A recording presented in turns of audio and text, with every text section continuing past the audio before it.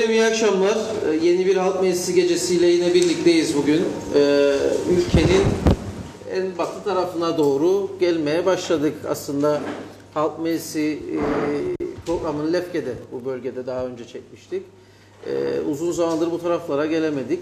Bu akşam Yeşilyurt'tayız. Ee, hem bölgenin sorunlarını hem bu taraftan bu bakış açısıyla belki ülke sorunlarını ne düşünüyorsa bölge insanı onları sizlerle buluşturmaya çalışacağız. Bir de o bölgelere biraz daha sık herhalde gelmek lazım. Ee, hem burada Sayın Başkanımız e, burada e, hem de muhtarımız yine katılımlar var milletvekillerimiz, e, örgüt başkanlarımız var ve vatandaşlarımızın da katılımıyla halk meclisine başlıyoruz. E, açılış sözünü ben Sayın Reşat Akar'a bırakayım. Sonrasında da vatandaşlarımız açık bu açık platformu canlı yayını kullanma şansını e, elde etmiş oluyorlar bu akşam. Buyurun Sayın Akar söz sizde. Evet, herkese hoş geldiniz diyorum. Ekran başından bizi izleyen bütün vatandaşlarımıza da sevgi saygılarımızı gönderiyorum. Bu akşam Lefke Belediye Başkanı Sayın Aziz Kaya ve bu gecenin ev sahibi muhtarımız Sayın Ahmet Özüdoğru e, gecenin organizasyonu için bizlere gösterdikleri katkıdan dolayı teşekkür ediyoruz. Milletvekillerimizden Sayın Hüseyin Erçal burada, CTP milletvekili. Ee, yine eski belediye başkanlarımızdan CTP ilçe başkanı Sayın Beyit Nekipzade burada. Hoş geldiniz diyorum. Ee, bu bölgelere geldiğimizde daima yanımızda olan Şinasi Özdeş hocamız var. Sivil Toplum Platformu Güzelyurt Bölgesi sözcüsü.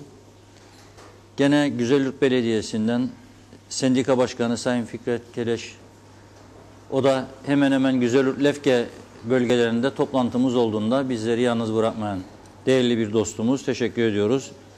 Hemen hemen adayı dolaştığımız her bölgede bizimle birlikte olan Hayvancılık Birliği Başkanı Sayın Mustafa Naimoğulları ve Genel Sekreteri Sayın Adil Onalt bizimle birlikte. Onlara da çok teşekkür ediyoruz katkılar için bir kez daha. Ee, epey sorunumuz var ülkede. Biliyoruz. Güzel şeyler varsa onlarda tabii ki konuşmamız lazım. Memnuniyet verici gelişmeler. Daha çok ürün alınırsa onları da söylemeliyiz. Daha çok satış varsa onları da söylemeliyiz ama galiba sorunlarımız biraz daha fazla. Gözle görülür halde. Meclis açıldığı günden beri meclisin önünde eylemler bitmiyor. Hemen hemen her gün eylem var. Yine Türkiye'de sıcak gelişmeler var. Bu sıcak gelişmeler nedeniyle dövizde tırmanış var. Bu dövizdeki tırmanış Kıbrıs'ta yaşayan hemen hemen herkesi etkiliyor. Ya araba borcu var dövizde, ya ev taksidi var dövizde, ya ev kirası var dövizde. Televizyon alacaksa, buzdolabı alacaksa gene dövizde. Herkesi etkiliyor. Dolayısıyla bütün bu konularda düşünceler, görüşler objektif bir şekilde samimi bir e, diliyle, eleştiri üslubuyla ortaya konacak. Ben herkese katıldıkları için teşekkür ediyorum. Ve öncelikle muhtarımızdan başlayalım diyorum. Bize biraz bölgeyi tanıtsın. Bir Nasıl ekle- bir yer? Bir ekleme yapayım. Lefke Sivil Toplum Örgütü e, Başkanımız da Sayın e, Teoman Bey de burada. E, onu ekleme yapalım. Hoş geldiniz. Evet, hoş Buyurun muhtarım.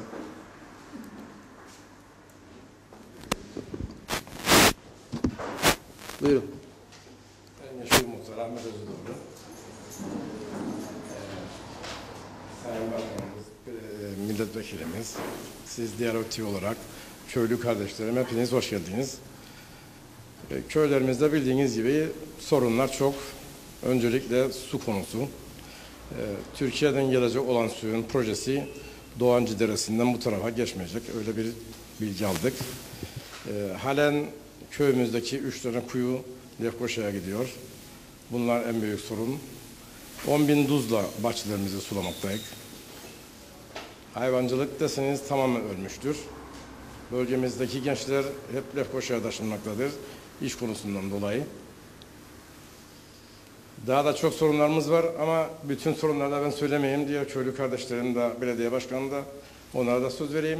Ondan sonra tekrar katılabilirim. Suyumuz tuzlu ama dediniz. Çok tuzlu. Yani kuyulardan çıkan suyu kullanıyorsunuz. sularımız. Tuzlu olduğu için de bu bölgede Narinciye bölgesi iyi ürün güne- alamıyorsunuz. Günden güne kötüye gitmektedir. Ve Türkiye'den gelen projede Gaziveren Köprüsü'nden bu tarafa geçmeyecek diye öyle bir duyum oldu. Bunun için de çalışma içerisinde elçiliğe bir başvuruda bulunacak. Bize bu konuda ne verecekler? Evet. Peki bu konuda zaten herhalde başka da soracak. Belediye başkanımız da burada. Evet. O da herhalde bize son durumu anlatacak. Evet. Teşekkürler muhtarım. Sağ olun.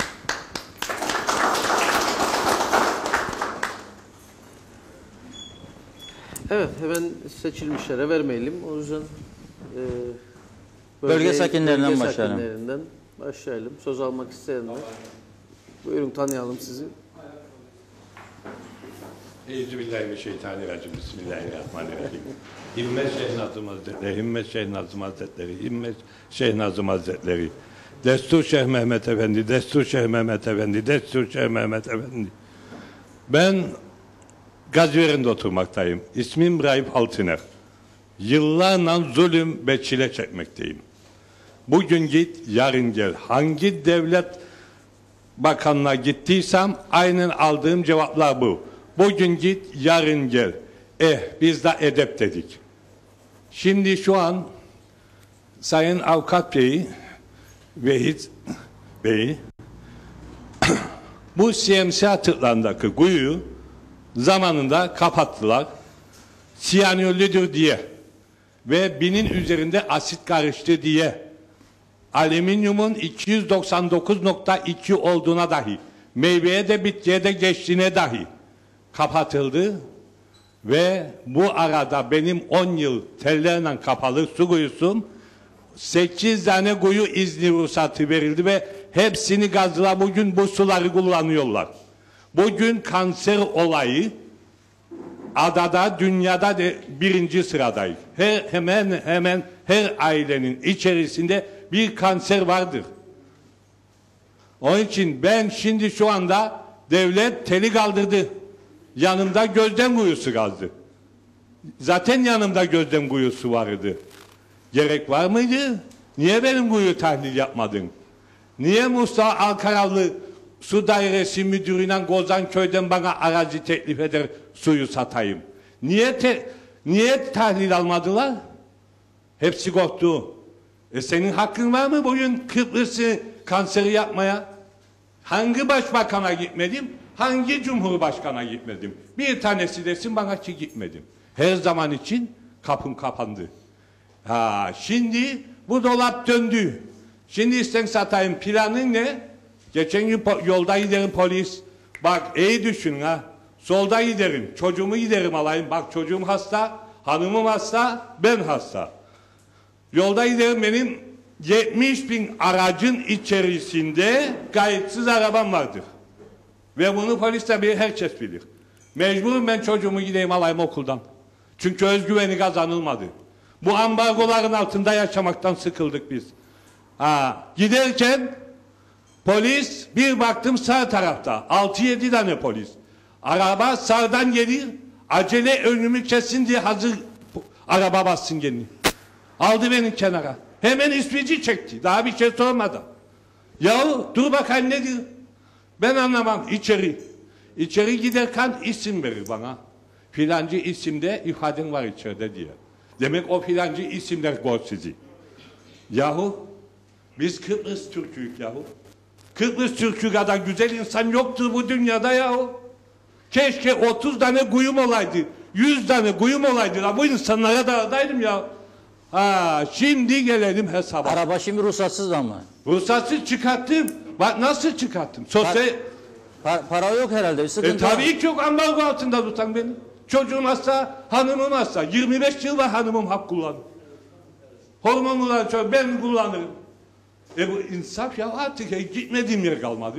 Allah elini versin belediye başkanı. Keşke hepsi bu başkan gibi olsa.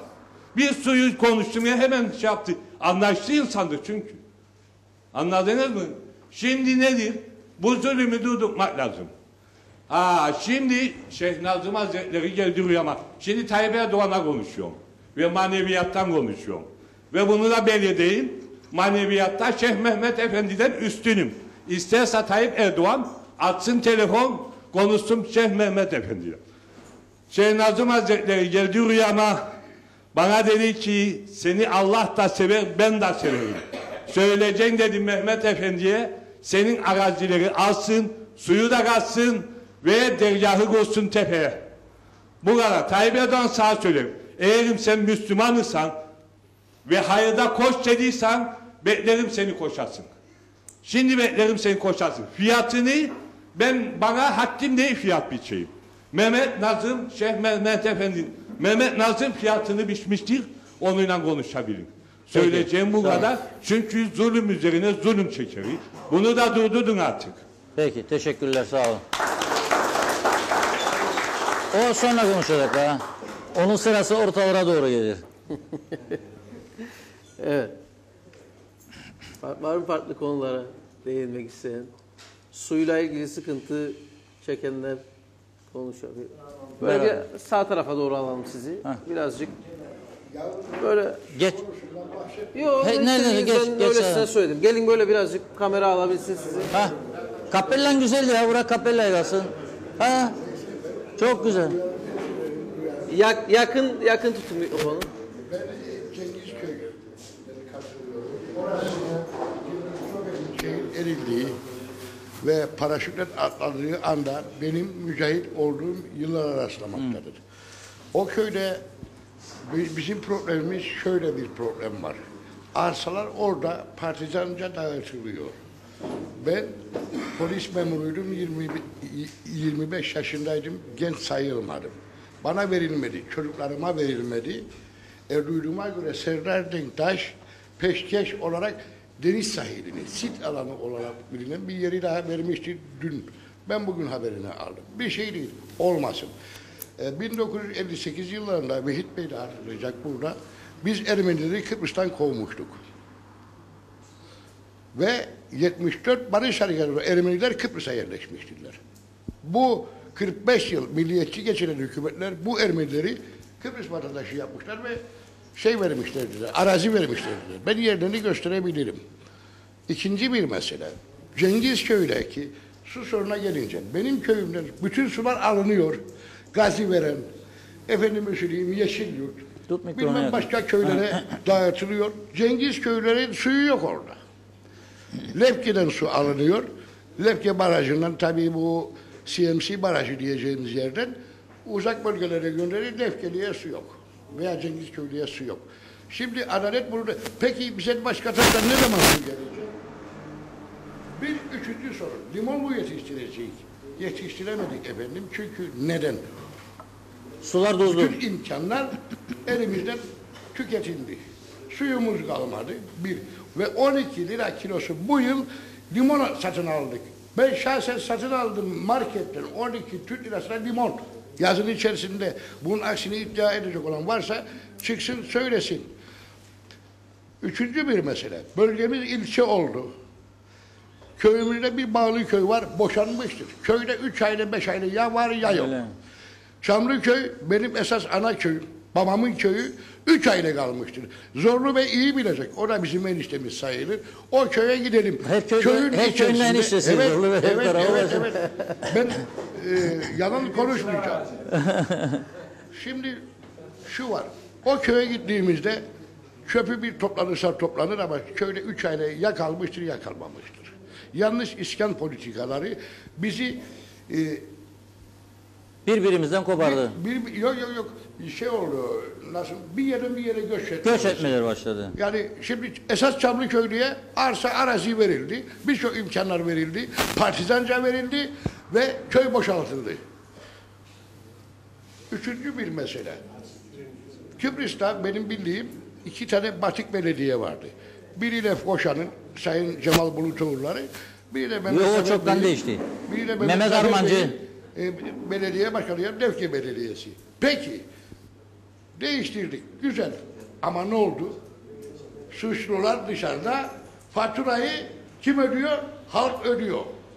Halk ödüyor. Kuruş kuruş da olsa biz ödüyoruz. Benim esas soracağım konu şu. Ben rica ederim Sayın Reşat Bey, bizi bir sayıma götürsünler. Genel bir nüfus sayımı olsun. Bakalım orijinal Kıbrıs Türkleri kaç kişi kalmıştır? Ben 50 binin geçmeyeceğini tahmin ediyorum. Ama vatandaş yapalım, 10 bin daha varmış sırada vatandaş yapalım. Ben şöyle diyorum, tek kalemle silelim şu konuyu. 80 milyon Türkiye'li bizim vatandaşımızdır, bir kalemle.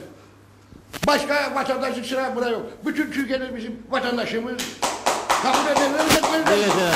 Evet, benim diyeceğim Sayın Tayyip Erdoğan'a şudur. Ben Kıbrıs Türk'ü olarak bana bir bölge göstersinler. Kıbrıs Türklerini bir vadi kenarına, bir dağ eteğine bizi işgal etsinler. Zaten biz Tarsus ilçesinden daha küçük bir nüfusa sahibik. Arazimiz de o kadar bizi bir yere yerleştirebilir. 3 milyon Suriyeli göçmen yerleşebiliyor. Bulgar göçmeni yerleşebiliyor da 40-50 bin kişilik Türk mü yerleşemeyecek? Benim öz vatandaşım e, 450 bin kadar ya var ya yok hep dış ülkelerde. Sınıf arkadaşlarım benim Kanada'ya gitmiştir. Ben yüksek teknik öğretmen okulu mezunu bir arkadaşım. Döküm bölümüyüm.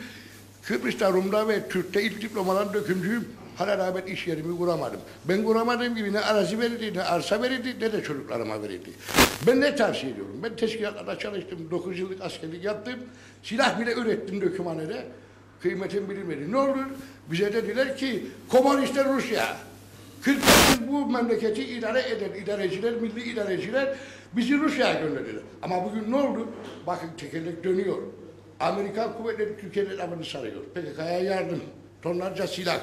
Bulgaristan, Romanya'dan hareket etmiş Amerikan birlikleri Bulgaristan sınırına doğru. Türkiye'yi sarıyorlar bile. Türkiye ne oldu bu sefer?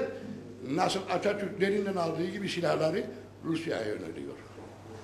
Söyleyeceğim bu kadar. Evet, Yalnız peki. şu vardır, bu memleketin ismini değişmemiz lazımdır.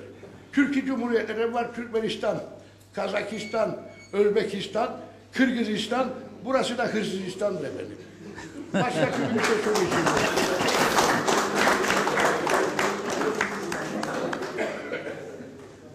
Buyurun tanıyalım. Mehmet Zehir okulu. Hoş bulduk. Ben Denizli Gemi Konağı Kalkındırma Derneği Başkanıyım.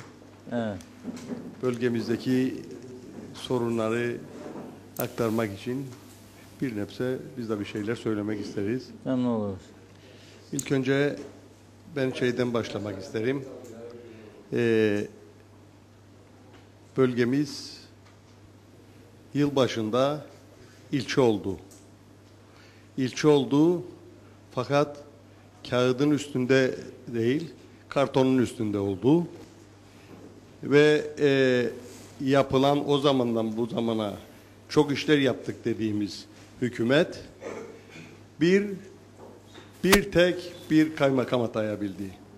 Kaymakam atayabildi ama orada ne e, çalışan memur koyabildi ne e, daireleri düzenleyebildi.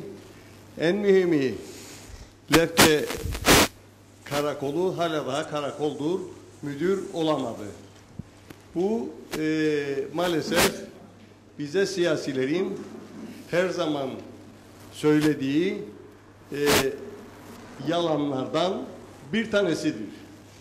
Size onu da yapacağız, bunu da yapacağız. E, Sayın Özgür Gün belki iyi insan olabilir. E, Lefke'yi çok sevebilir. Yani bize bu e, ilçe, biz sivil toplum örgütleri olarak ilçe olmamız için çok mücadeleler verdik. Bize bu konuda Sayın Özgür Gün yardım etti o konuda teşekkür ederiz. Ama bizi yarı yolda bırakmayacaktı. Bugün hala daha ilçe olduk diye e, yakında yapılacak olan seçimlerde bizim bölgemiz hala daha ilçe sayılmıyor ve e, güzel yurda bağlı olarak gene seçim yapacağız. E, Kendisi de Lefke'den çıkacak büyük bir ihtimalle. Lefkeli değil mi? Kendisi de demiyorum ben. İlçe, ilçe seçim kurulu olarak Lefke'de olmayacak. Bunu e, Halbuki Başbakanımız tarihe geçecekti. Lefke'nin ilk milletvekili adayı diye mesela. Ha, e, Kendi de tarihe geçecekti. Kaybetti. Bu tarihi fırsatı o zaman. Yo e, gene gene şansı vardır. Gene e, koyabilir şey. Ha. Gelelim bir daha e, bizim e, bilmem ben gelmeden önce diğer arkadaşlar da bahsettiyse. Yok daha yeniyiz. Şimdi bizim en büyük sorunlarımızdan biri e, meclisimiz açıldığında ilk gün çeşitli bir sürü e, konular birikmişti. Ama maalesef ilk konu olarak gemi konağında me- mevcut bir e, serbest bölge e, liman bölgesi varken ikinci gemi konağı ikinci serbest liman bölgesi adı altında bir, bir yasa tasarısı hazırladılar ve meclise onu götürdüler. Bunun e, açıkçası birileri onları zorladı. Biz kimin olduğunu da kulaktan kulağa duyduk ve orada ne yapacağını da çok iyi biliyoruz. Ee, bizi bize gelen duyumlara göre Kırmızı Liman denen yerdeki limanı eskidi ve çürüdü diye kesip parça parça CMC alanının içindeki hurdalar gibi onu da satacak ve sonunda orada kirli yatırım yapma hesapları içerisindedir. Bunun için biz sivil toplum örgütleri olarak bölgede tek e, sevindiğimiz bir şey vardır ki sivil toplum örgütleri her zaman her birimiz bir partide e, gönül vermiş olabiliriz ama konu Lefke ve bölgesi olduğunda bütün partilerin içindeki arkadaşlar sivil toplum örgütleri ve halk olarak bunların her zaman karşısında durduk ve karşısında durmaya devam edeceğiz. Bizim e, bir de bölgemizde yapılan e, kaymakam duyduğuma göre yalnız Lefke merkezin kaymakamıdır. Bölgenin kaymakamı değildir. Geçen gün bir toplantı düzenledi. Sivil toplum örgütlerinden yalnız Lefke'de e, olanlar adında Lefke yazanları toplantıya çağırdı. İlk önce beni de çağırdılar. Herhalde yanlışlık oldu. Arkasından da e, bir telefon geldi. İpta, e, toplantı iptal edilmiştir. Meğerim ondan sonra toplantı yapılmıştır. Burada e, kaymakamı da kaymakam gerçi arkadaşımızdır ama onu bu e, bu konuda e, kınıyorum. Evet. Gelelim bölgemizdeki asfalt yollara.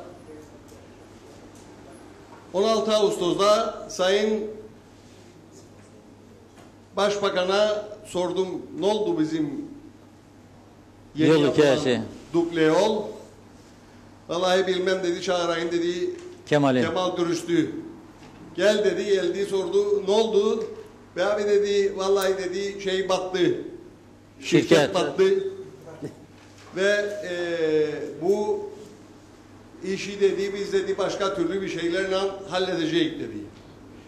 Yalnız dedi bir iki haftaya kadar dedi bu bayram da geçsin dedi.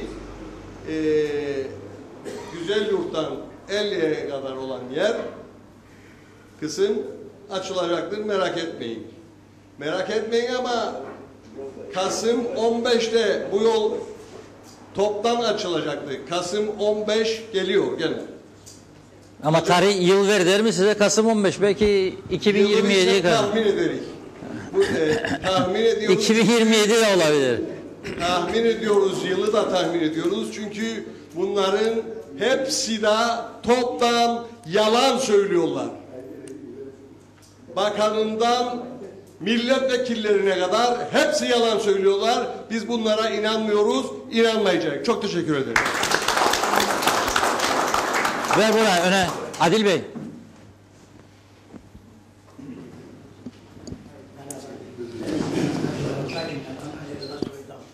Merhaba. Önce milletvekillerine Dolu Bey'e hoş geldiniz derim. Hüseyin Bey'e hoş geldiniz derim. Ancak Ben Zorlu Töre'ye, Sayın Zorlu Töre'ye bir soru hazırladıydım, soracaktım. Gelmediydi ve üzüldüydüm. Ve gördüm kendini, şimdi rahatladım ve soracağım içimde kalmasın. şimdi Benim nereden geldiğimi bilsen kavan içinden geliyorum. hoş geldin. Yani kavan içine gittim. Evet. Şimdi e, Türkiye takımları bizimle niye maç yapmıyor? Rum tarafına niye yap, yapar? 83'te 1983'te yapardı. Şimdi niye yapmıyor? Soru bir. Soru iki. Diyelim ki Kıbrıs Cumhuriyeti yani Rum tarafı karar verdi ki ben sizinle artık anlaşma istemem. Ne haliniz varsa görün kapıları kapattım dediği anda bizim halimiz ne olacak? Bu gençlik ne olacak? Torunlarımız ne olacak? Geleceği ne olacak? Teşekkür ederim. Evet, Zorlu Bey bu sorulara Versin, versin cevabı. Versin. Anında sıcağı sıcağına da. Değerli Yeşil Yurtlu kardeşlerim, Lefke bölgesinden gelen kardeşlerim, tabii ki e, Lefke'miz ilçe olmuştur. Bu büyük bir adımdır. Dolayısıyla mutlaka ilçeleşme yavaş yavaş da arkasından gelecektir. Yani eksik birimler yavaş yavaş tamamlanacaktır. Ama Yeni İskele ve Güzelyurt ilk zamanlar ayrı ilçe yapıldığında yani 3 seçim bölgesinden 5 seçim bölgesine veya 5 bölgeye çıkıldığında da bazı eksiklikler vardı ve İskele'de de o zaman işte e, hukuk dairesi oluşturulmadığı için seçimler Gazimavusa'ya götürülüp yapılmıştı. Ama şu anda Lefke ilçemiz ayrı bir ilçe yapılmıştır. Bu çok büyük ciddi bir adımdır. Dolayısıyla e, Sayın Başbakan verdiği sözü yerine getirmiştir. Ben Lefke'de yapılan e, toplantıda da yine Diyalog TV'de Lefke'nin ilçeleşmesini destekliyorum diye ifade etmiştim orada. Şimdi bu e, gençlerimize uygulanan ambargoları önce Birleşmiş Milletler niye bize ambargo uyguluyor? Çünkü Kıbrıs Cumhuriyeti bugün işgal altındadır. Kıbrıs Cumhuriyeti'ni iki ayrı halk kurmuştu. iki ayrı yapı vardı orada ve federatif bir yapı vardı. Birleşmiş Milletler 4 Mart 1964'te geçici olarak Türkiye'nin de kabulüyle olmuştur. Bu çünkü adaya bir takım yardımlar yapılması gerekirdi. Çünkü Kıbrıs Türk halkı muhasara altındaydı, ambargolar altındaydı. Kıbr- Dolayısıyla güvenliği yoktu Kıbrıs Türk halkının. E, Birleşmiş Milletler e, 4 Mart 1964'te Kıbrıs Rum tarafını o günkü şartlar içerisinde bir hükümet olarak kabul etti. Ve o gündür bugündür devam ediyor. Bu büyük bir hatadır. Dolayısıyla bugün ambargolar varsa zorlu töreyi sorgulamak yerine Birleşmiş Milletleri sorgulamak daha doğrudur. Birincisi bu. İkincisi UEFA vardır, FIFA vardır. Bunlar Cebeli Tarık'ı ayrı İngiltere'ye bağlı Cebeli Tarık'ı, Monaco'yu bunlar ayrı fikstür olarak kabul ediyorlar. Ama neden Kuzey Kıbrıs Türk Cumhuriyeti'ni Rumlar Kıbrıs Cumhuriyeti'ni gasp ettikleri halde bunu herkes biliyor. Neden Kıbrıs Türk halkının gençlerinin futbol yapma hakkını engelliyorlar? FIFA'yı, UEFA'yı ve Birleşmiş Milletleri sorgulamak gerekir. Dünyada büyük bir adaletsizlik vardır. Biz kendi devletimize, kendi gençlerimize elbette sahip çıkıyoruz ama ambargoyu uygulayan FIFA, UEFA'dır. Türkiye değildir. Türkiye buraya gelip giderdi ama bu ambargolar altında e, Türkiye'ye dediler ki sen Kıbrıs'ta gidip orada antrenman yaparsan, orada e, maç yaparsan biz seni FIFA'dan çıkarırız, UEFA'dan çıkarırız. Dolayısıyla FIFA'da, UEFA'da Birleşmiş Milletler'de büyük bir e, hata içerisindedirler. Bizim futbol federasyonumuz biliyorsunuz Kıbrıs Türk e, Kıbrıs e, Federasyonu'na yani Rumların elinde kalan Kıbrıs Federasyonu'na, Futbol Federasyonu'na üye olmak istedi. Ama Sayın Hasan Sertoğlu ve Futbol Federasyonu yönetimi ne kadar esnek davranırsa davransın, Rum tarafı Kıbrıslı Türk gençler bu işten yararlanır diye kabul etmediler. Zırladılar, kaçtılar. Yani halk tabiriyle söylüyorum. Dolayısıyla suçlayacağınız makam Kıbrıs Rum tarafının Futbol Federasyonu'dur, FIFA'dır, UEFA'dır, Birleşmiş Milletler'dir. Rum tarafı kapıyı kaparsa inşallah kapamaz tabii ben onu temenni etmiyorum. Çünkü e, her ne kadar bugün Kıbrıs'ta bir anlaşma yok ve bunun sebebi de daha fazla Rumlardır. Her anlaşma modelini reddeden şu ana kadar belgesini, anlaş, e, planını reddeden Rum tarafıdır. Kras Montana'da federasyon görüşmeleri de artık son bulmuştur. Birleşik Kıbrıs olamaz. Bileniz, bilesiniz ki eğer bir gün Birleşik Kıbrıs diye, federasyon diye bir anlaşma olursa Kıbrıs'ta yeşil yurt yerinden çıkacaktır. Çünkü Rumlar kabul etmiyor. Güzel yurt verilmeden federasyon olmaz diyorlar. Sayın Mustafa Akıncı da federasyon olsun diye Birleşik Kıbrıs olsun diye Anlam planındaki haritayı kabul etmiştir. Kendi ağzından söylemiştir Kras Montana'da. Ne gemi konağı kalır ne yedi dalga kalır. Siz şimdi ye- gemi gemi konağını tartışırsınız. Yedi dalgayı tartışırsınız. Maden ocağını orada tartışırız. Cengiz Topel Hastanesi'ni konuşuruz. Yeşil Yurdu konuşuruz.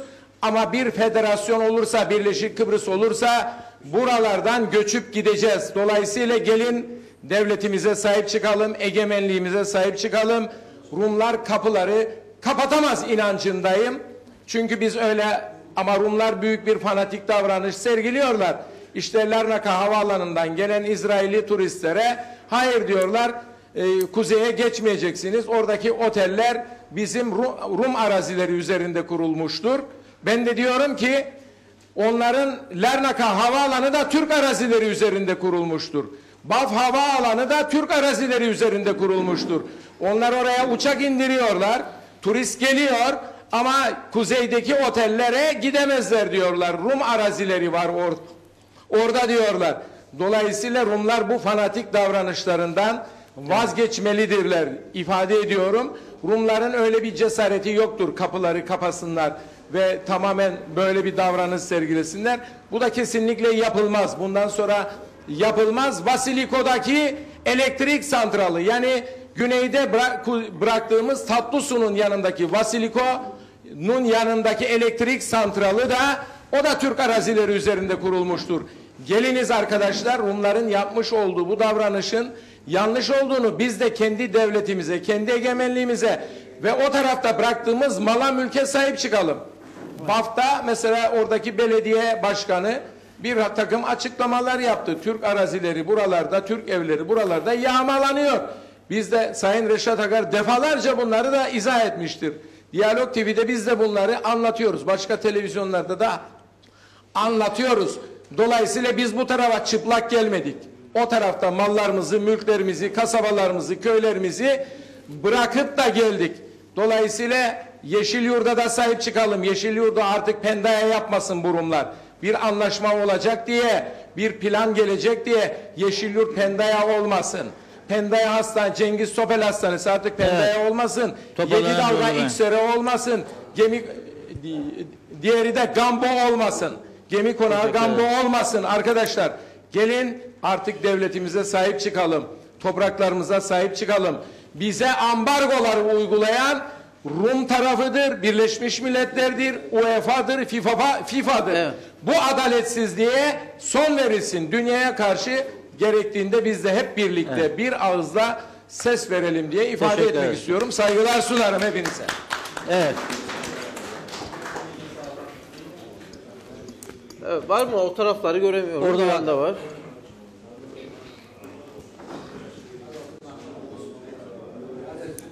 Buyurun tanıyalım sizi. İsmim Osman Sanlı.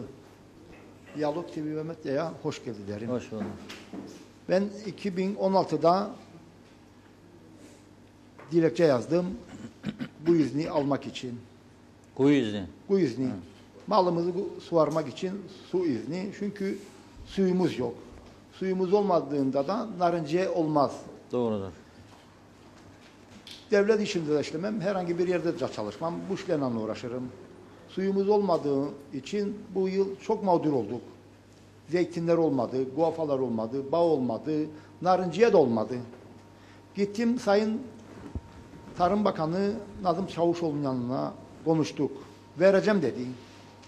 Bir gün geldi Yeşilyurt'ta bu kahvede de konuştu. Vereceğim dedi atadı tarım dairesinin müdürlerini, adamlarını kaç tane varsa hepsi beceriksiz. Yapamazlar. Yapamayacakları şeyi de konuşurlar. Yani kuyu yerini tespit edemediler. Tespit ettiler, ben tespit ettim. Burada dilekçemi de yazdım. 120 lira da para verdim kendilerine. Emlak vergilerini ödedim tarlanın. Ve bana vermediler. Hep kuruttum. Sağ olsun. Allah iyiliğini versin. Ağaçlarım gibi de kurusun o da. Sinirliyim çünkü. Çünkü koskoca mal kurudum. Hiçbir şey alamadım. Üç tane çocuk var. Hepsi okula gider. Ben Ne kendilerinden para istemedim. iş de istemedim. Su istedin sadece. Su istedim. Yer altındaki suyu. Ama gördüğüm kadar, duyduğum kadar, yaşadığımız kadar üç kuyu izni olana, üç kuyu olana bir izin daha verdi. Dört kuyu olana bir izin daha verdi. Yani vermesinin gayesi neydi? Oyalacak. Ben sorarım gene buradan. Buradan da seslendiririm. Hey Çavuşoğlu. Türkiye'deki Çavuşoğlu değil, bizim Çavuşoğlu. Bizim zor. Nazım Çavuşoğlu. Yanlış anlaşılmasın. Yanlış anlaşılmasın. Bu yaptığını yarın yukarıda hesabını vermeyecek. Allah'a da yarın hesabını vermeyecek bu işin. Bu çocukların benim günahını, bu bahçelerin kurumasının nedenini, bu arazilerin susuz dalmasını ödeyemeyecek hesabını. Yatırım bakarım dua derim kendine. Allah elini versin ama önü, önüne gitmesin, görmesin. Bunu derim. Beddua şey. etmeyelim ama yani Ha, üzücü bir durum insanın yaşadığını canını belli. yakar. Evet. Burada Taşköy. Tamam ama yani beddua git. Taşköy deresi var. Üç kişiye izin verdi. Çıkartlar su. Her biri dört beş inç su çıkartlar. O Taşköy deresinde insanlar birbirine soktular. Hazır kavga etsinler. Asker girmer saraya tüfek tüfeğe geleceklerdi. Ve aşağıda bize kendi malımıza su vermedi, izin vermedi. Ve aşağıdaki su birliklerinin suyunu da kuruttular. Dalgıç vardı, iskaya vardı. Onların suyu da azaldı. Onlar suyu alıp nereye gider o üç dört kişi? Lefkoşa'ya bombalarlar.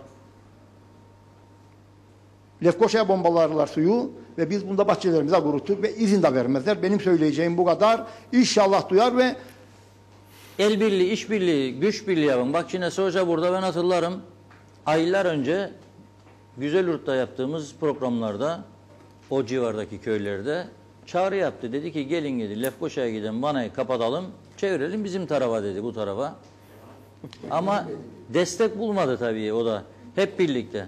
Bir de şimdi bu tip eylemlerin yeri artık meclisin önü oldu. ama Maaş isteyen oraya, zam isteyen oraya, taksi izni isteyen oraya. Siz de bence oraya bir grup oluşturun. Gidin meclisin önüne. Reşat Bey gidemeyiz. Biz işçi insanlık, aç insanlık. Bizim gücümüz yok. Polis kuvvetli para alır. İnsanlar topuzla ezer. Daha önceki yıllarda gördük. Nasıl polisler insanların üstüne saldırır. Bizim üç çocuğumuz var. Gidemeyiz polis tarafından ezilelim. Dövsünler bizi. Evet. Kafamız sıkıştığı zaman gider güneye çalışırız. Alır 3-4 para, 3-4 kuruş para gelir bu yanı. Geçinirik yaşamımı, yaşamımızı biz böyle İdame idame ederik. Yani biz polis gücüne karşı gelemeyiz. Orası öyle. Bundan Karşı gelin demedim zaten. O olmaz yani. Da- Güçsüzük biz.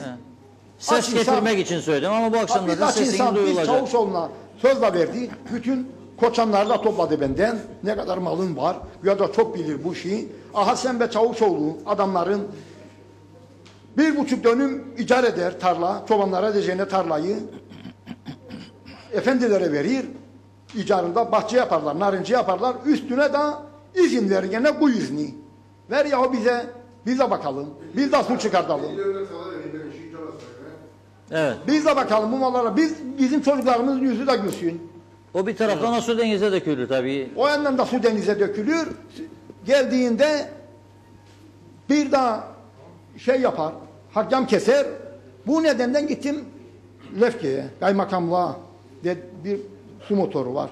Benim komşum bakar. Bir kişi kullanır o su motorunu. Su dairesine aittir. Dilekçe yazdım. Bu sudan bana destek verin. Bu bahçeyi kurutmayalım. Kara Mustafa isimli bir adamdadır bu motor. Doğancı'da. Kaymakam dedi bana Halil Çorba ama dedi isteyemek kendinden su. Ver bana telefon numarasını dedi bana da rica edeyim kendinden versin sa suyu. Ben sağ rica için gelmedim buraya. Makamına geldim görevini yapasın dedim kendine. Öyle Evet. kaldı bizim zeytinleri satamadım, bağı satamadım hep yandı, guafalar yandı. Şimdi bahçe pirilli kadardı onu da satamam. Ben mahvoldum gittim. Ne diyeyim artık Re- Reşat Bey? Haklısın. Yani konuşmamda ben haksızım, öfkelendiğimde ben haksızım. Evet haklısın. Teşekkür ederim.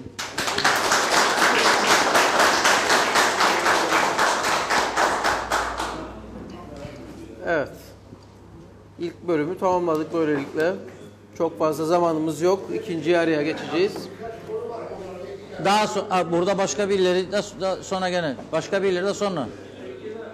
Sonra diyor. Evet, bana İlk tekrar söz konuşanlar- veriyor. Evet, kısa kısaca başkalarına Bana söz tekrar verelim. söz verdiğiniz için çok teşekkür ederim. Benim bölgede gördüğüm çok büyük olay vardır. Bir, telefon dairesi bir, karayolları iki, iskan dairesi üç ve galiba elektrik dersinde var. Bu dört müessesede çalışanların hiçbiri hatta müsteşarlar dahi işe gitmeden para alıyorlar. Allah Allah. Bu böyle. Ben ispat ederim. Nerededir? Adam müsteşardır bütün gün benim köyde balık avlar. Müsteşar. Müşavir, müşavir. Müşavir. Hanımı da çalışır. Bir müşavir- saniye beyefendi. Memurun, emekli memurun maaşı 4000 lira yaptın ama döviz karşısında 800 sterline endi. Bir çöpçü parasının aldığı para bile değil Avrupa'daki. Biz nasıl Avrupa'dayız? Arkadaşım Osman'a bir cevap vereyim, ben vereyim. Osman bu Türk askeri Limasolu aldığı zaman sana Yermasoya deresinden su verecekler. Ümidini kırma. Zorlu meşe etti. Ambargolar var dendi. Ne de var ambargo efendi? 74'e kadar bir ambargo çektim. Demir çimento gelmezdi. Ben bunları yaşadım. Mevzi yaparım diye. Şimdi ta Arjantin'den limon geliyor Kıbrıs'a. Bu ambargo neresinde? Demir mi gelmiyor? Fayans mı gelmiyor? Boya mı gelmiyor? Her şey Hırsız mı gelmiyor? Sahtekar mı geliyor? Üç gün öncesine kadar gazeteler her tarafta bir yolsuzluk diye baş baş böyle makaleler halinde gazeteler çıkmıştır. Biraz utanalım artık Evet. ya. Bu memleketi idare edelim. İş yoksa karayollarında aktaralım başka bölüme istihdam yapmayalım. Onun parasını fazla istihdam yapa yapa bu memleketi bu hale getirdik. İnanın 2-4 bin lira maaş alan insanlar var. Yurt dışına kaçmak isterler ve Türk tapulu aracda ev yaptılar. 400 milyar borçlanmışlar. Karı koca istenir. Döviz yedi bitirdi kendilerini. Pa analarına babalarına para alıp ve farkı öderler bankalara. Ve bu insanlar kaçmak ister. iş sahibi oldukları halde. Onun için ben göçü önleyelim dedik. Bravo. Peki. Oldu mu? Hadi iyi akşamlar. Reşat Bey, öncelikle bölgemize hoş geldiniz. Şimdi ben Kal. şimdi ben öncelikle e, ne acıdır geçen gün Başbakanımızın yapmış olduğu açıklamadan başlamak isterim.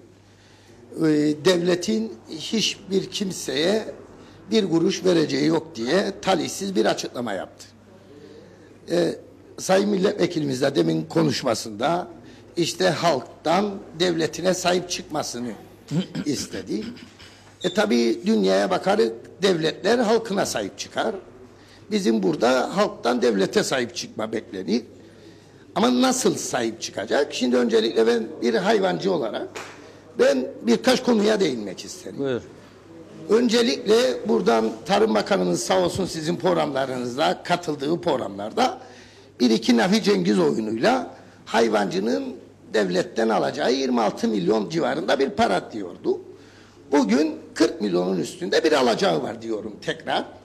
Çünkü o gün kendi de katılacağı için bazı öyle çok ince hesapları yapıp 26 milyonlardan bahsetti. Şu anda 40 milyonun üzerinde bir alacağı var. Bu da yetmezmiş gibi bugün tarım sigortasına bu hayvanın süt parasından yüzde iki bir kesinti olmaktadır. Ve biz bu parayı öderken hiçbir zaman e, yani karşılığını almayız. Bir tek düşük adı altında o da çok yanlış. Yani sigortanın sistemi yanlış. Fakat bir düşük e, şey altında bir, yalnız bir düşükler ödenmektedir. Dört ay var ve sigortayın bilirsiniz bundan 3-4 ay evvel bir imza sigortayı borçlandırma yönünde bir e, imza istendi yönetim kurulundan. O günkü kendi atadığı Yönetim yöneticiler bunu reddetmiştir. Yasal değildir dedi. Çünkü bu para üreticinin kuruş kuruş. Biriktirdiği Hayvancının yüzde iki süt parasından yatırdığı paralardı. Kendi atadığı insanlar bunu reddetmişti. Ve bir gecede o yönetim kurulunu değiştirmiş ve bu imzayı bir gecede attırmış ve bu sigortayı borçlandırmıştı. Ne oldu? Bu sigortanın parasını aldı bizim paramız. Her 15 bu parayı kesmektedir bizden. Ama 4 ay var bizim bir düşük paramızı bile ödenmemektedir. Bunun adı nedir? Bunun adı hırsızlıktır. Yani ben buradan bunu söylemek benim hoşuma gitmez ya. Ama bugün Maliye Bakanlığı sigortanın bizden kuruş kuruş kestiği parayı oradan almaktadır. Bu çalmadır. Çünkü o para bizimdir. Biz yatırırız ve mağduriyetlerimiz giderilsin de kendi paramızdır. Biz devletten para istemedik. Kendi paramız. Ha bunu yapmaktadır. Ondan sonra döndü geçen gün Tarım Bakanlığı. Bugün küçükbaş hayvancıya teşvik verir, teşvik verir. 45 TL küçükbaş e, küçükbaş hayvan başına bir para ödeyecekti. Bunun hesabını öyle bir güzel yaptı Tarım Bakanlığı ve çıktı televizyon ekranlarından dedi ki ben bu küçükbaşa vereceğim parayı arpa olarak vereceğim. Ama ne yaptı? Bu açıklamayı yaptığı günün ertesi günü döndü arpayı 70 TL'den 80 TL'lere çıkarttı. Ve hayvancının alacağı 45 TL'ye alacağı arpa miktarını yarı yarıya vermeden, hala daha vermedi. Vermeden yarıya indirdi. Bunların anlamı nedir? Yani bir devlete, bir halkın say ben bunları uzatabilirim. Su parası. Bir buçuk TL'ye verdiği suyu, Türkiye'den gelen suyu kullanmadığımız halde 5-6 TL'ler ödemektedir bu hayvancı. Yani bunların anlamı nedir? Yani bunları alt alta yazdığında bunların anlamı nedir? Bugün devlete bir gün geciktin ödeyesin hayvancı. Faizini. Bugün süt parası ödemedi. Süt parası ödenmedi. Hayvancı zor durumda. Ödemedi. Bugün devlete bir borcu oldu. Sigortalara ve elektrik kurumuna bilen. Bunları bir gün geciktiği takdirde yüzde üç faiz ödemekteyiz biz ya. Bunu bize teveccühler yapmaz. Benim teveccüh arkadaşlarım var. Bu işten yapar. Öyle iki güne, üç güne almaz bir şey de. Bizim devlet bir gün geciktin yüzde üç faiz uygular. Bunun yanında şimdi hasbelkader yıllardan sonra e, Kooperatif Merkez Bankası'nın başına bir üretici kesimden biri geçmiştir. E, Çiftçiler Birliği Başkanı. Yahu her tarafta ortalık kalktı oturdu odur budur. Ya bugüne kadar bu Kooperatif Merkez Bankası'nın yanına başına kimler geçmedi? Ne yaptılar? Da neler oldu geçti? Ne, ne yaptılar? Bizi mahkum ettiler. Türkiye'den gelen bankalar. Bizi mahkum ettiler. Türkiye'den gelen bankalar. Ve ne oldu? Kapatmaya kadar gitti bu işler. 40 yılda bir, bir üretici birlik başkanı oraya geldi. Bekleyin yahu yani bunun şeyi yok ya. 40 yıl var zaten. Gelen yedi, giden yedi. Bekleyin ya görelim bakalım nereye gidecek bu iş. Bu da hesabına E değiştirecek. bu da bunu da değişecek zaten. Yani bu memlekette eskiden bu kooperatifler kurulduğunda bir bakalım bakalım bu kooperatiflerin başında kimler vardı? Siyasetçiler vardı. Partizan particiler vardı. Üreticiler vardı. Ve ne güzel işlerdi bu şeyler. Kooperatif. Ha bekleyelim görelim ben demiyorum öyle böyle. Ama bekleyelim. Dur bir hengame değil. Aldı başını gider. Reşat Bey buradan ben bir şey söyleyeyim. Buradan ben sizden bir şey talep ederim. Bu konuları biz burada böyle programlarda dile getiririk ama çözemeyiz. Ben istiyorum ki sizin aracılığınızla bu Tarım Bakanı bürokratlarıyla bu Hayvancılar Birliği'nden bir ekip kurulup sizin programınızda, televizyon programına saat sınırsız bu bize verdikleri teşvik, bu bize verdikleri bu kadar imkan ve bizi e, gökyüzüne çıkarttılar. Bunları oturup bu halka burada birebir konuşup çözme talebim var sizden. Bunun e, çağrısını yaparsanız. Sayın Bakan'a yapacağım ben bu Evet ve o zaman bu e, toplumda, bu hayvancı kesimde kimin ne yaptığını, kimin ne ettiğini anlasın. Tamam. Size teşekkür ederim Sağ Reşat. Bey. Sağ olun. Evet.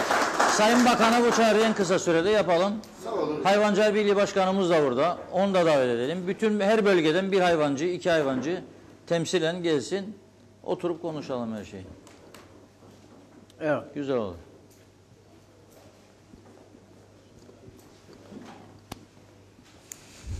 Buyurun tanıyalım sizi. İsmim Yaşar Oduncuoğlu. Söz almak istemezdim ama Mecbur kaldım. Deprem bölgesinin genelde Kuzey Kıbrıs Türk Cumhuriyeti'nin sorunları çok.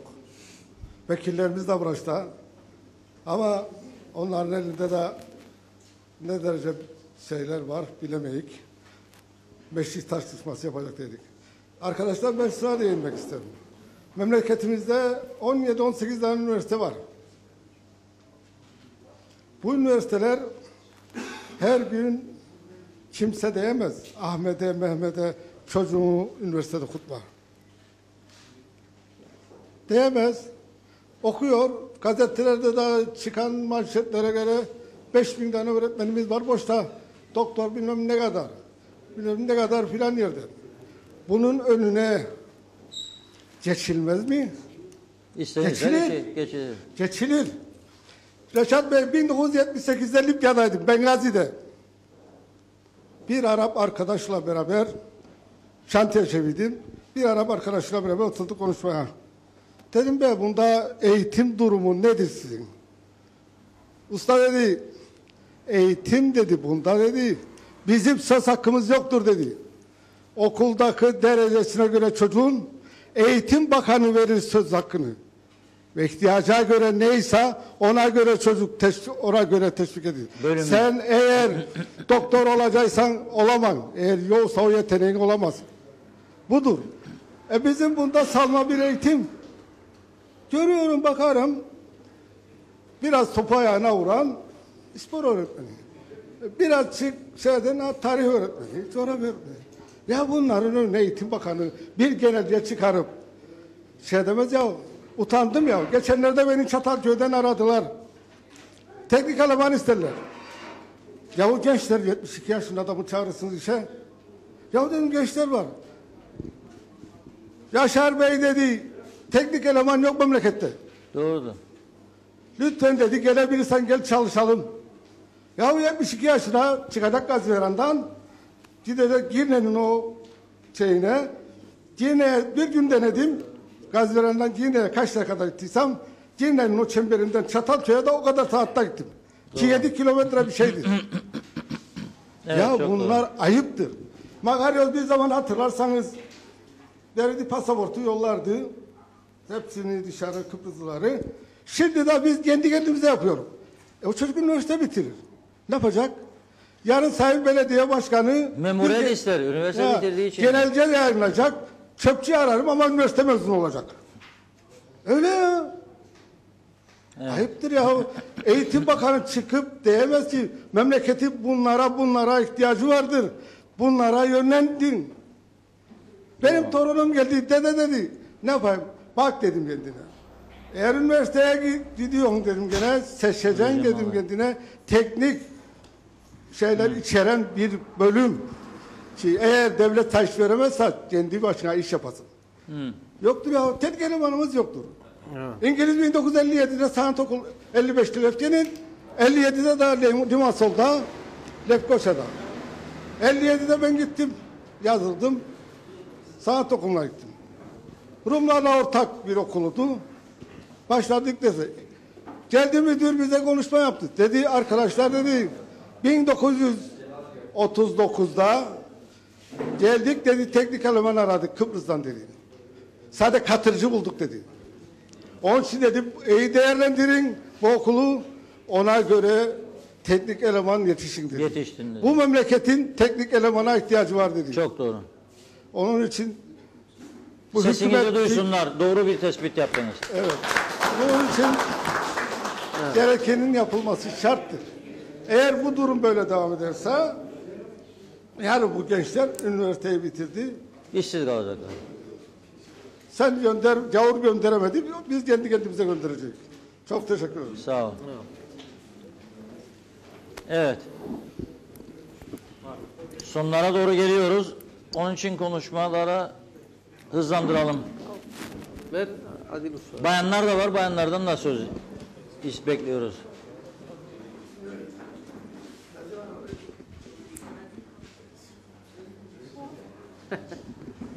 Sonra da Adil Bey unutma. İsmim Nazif Kubilay, Lefke Çevre ve Tanıtma Derneği Yönetim Kurulu üyesiyim. Ee, bizim Lefke'de sorunlarımız bayağı mevcut ama ne yazık ki hükümetimiz her şey yolundaymış gibi gerek eğitim, gerek e, sağlık, gerek trafik, gerek zaten ülkede grevler aldı gitti ortalığı ama her şey yolunda. Ee, ikinci tekrar bir Lefke'de gemi konağı bölgesinde ikinci gemi konağı serbest liman ve bölgesini il- ilan etti. Ve bu kırmızı limanın hemen orasıdır. Bu, orada e, bu ilan edilen yerin hemen yanı birinci derecede sit alanıdır. Böyle bir durum olduğu zaman yanındaki komşu araziler de sit alanı iç dahil ol- olmaktadır. Ve bu bölge Yedi Dalga halkının e, geçim kaynağını sürdürdüğü arazilerin mevcut olduğu bölgedir. Ve bundan biz e, birkaç ay önce üniversitede Turizm Bakanlığı, sivil toplum, e, e, e, yerel yönetimler ve üniversitenin paydaş olduğu bir turizm sempozyumu gerçekleştirdik ve orada çıkan sonuçta bu bölgeye kesinlikle kirli yatırı- yatırım yapılamaz.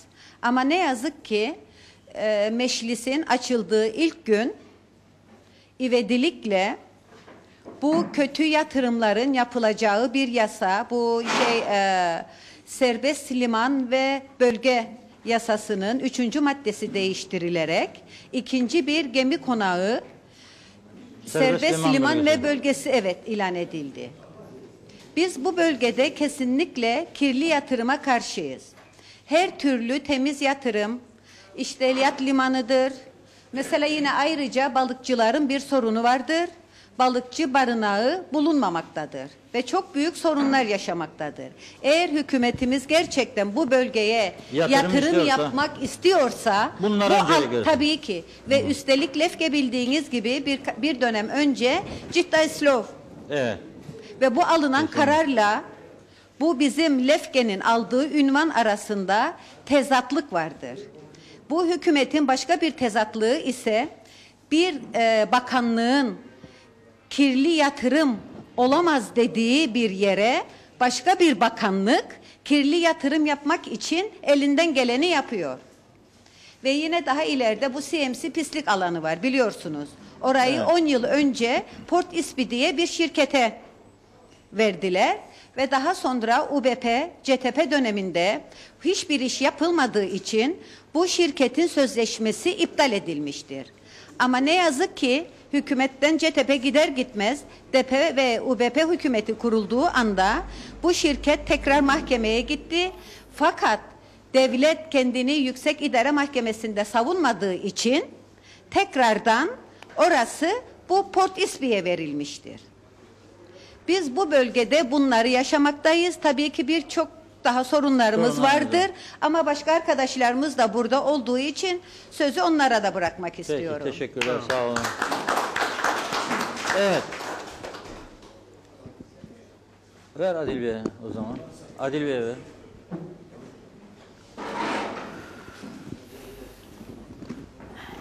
İyi akşamlar tüm bölge halkına da. Reşat Bey iki hafta önce Dilekaya'da bir suç duyurusunda bulunduydum. Dedim ki işte Binboğa'da böyle böyle oldu. Yolsuzluk oldu. Para zimmete geçti. neresiydi unuttum ben onu da açalım biraz. Yem fabrikası. Ha, kooperatifin yem fabrikası. Evet. Bir hafta önce de Kop benzinde yolsuzluk oldu dedik. Çıktık bunu da söyledik. İki haftadır beklerdim bir cevap alayım. E, bir tanesini unuttum bir de Davide Kop Bank'ın şubesi. Diğer banka. Şimdi bir haftadır hep yolsuz aran derler ki bana neden kooperatif? Ben gerçek bir kooperatifçiyim. Beni anam kooperatifte yem almak için sıra beklerken torbalarda doğurdu. Biz o günlerden geçtik de geldik. 20 yıldır ben kop gazın gazını dağıtırım. Benim içim yanar. Neden? Bu köylünün tek kurtuluşu kooperatiflerdir. Kooperatifleşmektir. Ama biz ne yaptık? Olan mevcut kuruluşlarımızı batırmaya çalışırık. Dedik ki benzinde de yolsuzluk oldu. Bilir misiniz bana iki haftadır ne dediler?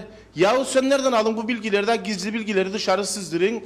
Yasal değil yaptığın işe be kardeşim ben sana suç duyurusunda bulunurum. Yargılayın polis var adalet var bir şeyler yapın bu insanlar görsün ya bu kooperatifte yargıda olduğunu. O geçmeden dün başka bir şey duyarım. Ben bunları yayınlarken tabii Facebook'ta attılar. Bir bakarım beğenenlerden bir tanesi Serdar Denktaş. Beni beğenmiş. Ne yolsuzlukları söyledim. Be arkadaş çıkardınız bir alavera dalavera. E, ayakkabıyı batırdınız. Zeytinyağını batırdınız. E, demir şeyi vardı batırdınız. Bütün kurumları batırdınız kooperatifte. İnşaat bölümü var. İnşaat bölümünü zamanlar- batırdınız. Betmez fabrikası kuracaklar. Harnıba, Boğaz'a. Ve hep bitirdiniz. Betmez fabrikası kaldı. Arnavut kalmadı memlekette. Harnıp kalma. Betmez fabrikası kuruyorlar. Olaya bakın ha. Betmez fabrikası kuracaklar. Çet raporu yok. Kahverengi alanda bir yer. Koruma altında. izinsiz inşaat bitti şu an aldığım duyumlara göre. Duyumdur tabii benim bu söylediklerim. İnşaatı alan şirket Serdar Denktaş'ın oğlunun şirketi. Ya böyle bir şey olabilir mi ya? Ne biçim bir ihaledir, ne biçim sonuçlandı? Tosunoğlu'nu okudunuz kooperatifin başına. Bir de sendika başkanlık oldunuz. Memur sende çalışır. Kopsüt'te yönetim kurulu başkanı. İştirakler'de yönetim kurulunda sendika başkanı. Doldurduğunuz olanca istihdamı da yaptınız. Ben geçen gün şeye de gittim Levazım'a. Utandım ben. Koridora bile masa koydular içeri giremeyik. Allah Allah. Koridorlar masa dolu. içeri girilmez. 36 kişini 60 kişi yaptılar. Ne yapacak? Parça satacak da para kazansın bu insanlar. Ya ayıptır, günahtır. Bu köylünün kurduğu kooperatifi bunlar batırdı. Ama nedir? Hepsi birbirine gebe. Sendika başkanı da gebe. Çıkın derim açıklayın bu yolsuzlukları açıklayamıyorlar. Çünkü kendileri de işlerin içinde. Ben iddia ederim bunları. Çıkın derim açıklayın ya. Ya bir pekmez fabrikasına ihtiyaç var bu memleketin. Ne yapacaklar? Kurdular. Harnıp fabrikası şey pekmez yeri kuracaklar. 5-10 kişi onun için alacaklar. Zaten çıkardıkları pekmezi içseler yetmez genleri. Evet. Geldik geldik yani bugünlere kadar geldik ben gene derim. Gene suç duyurusunda bulun. Çıksın ya birileri de artık bunlara bir dur desin. Teşekkür ederim.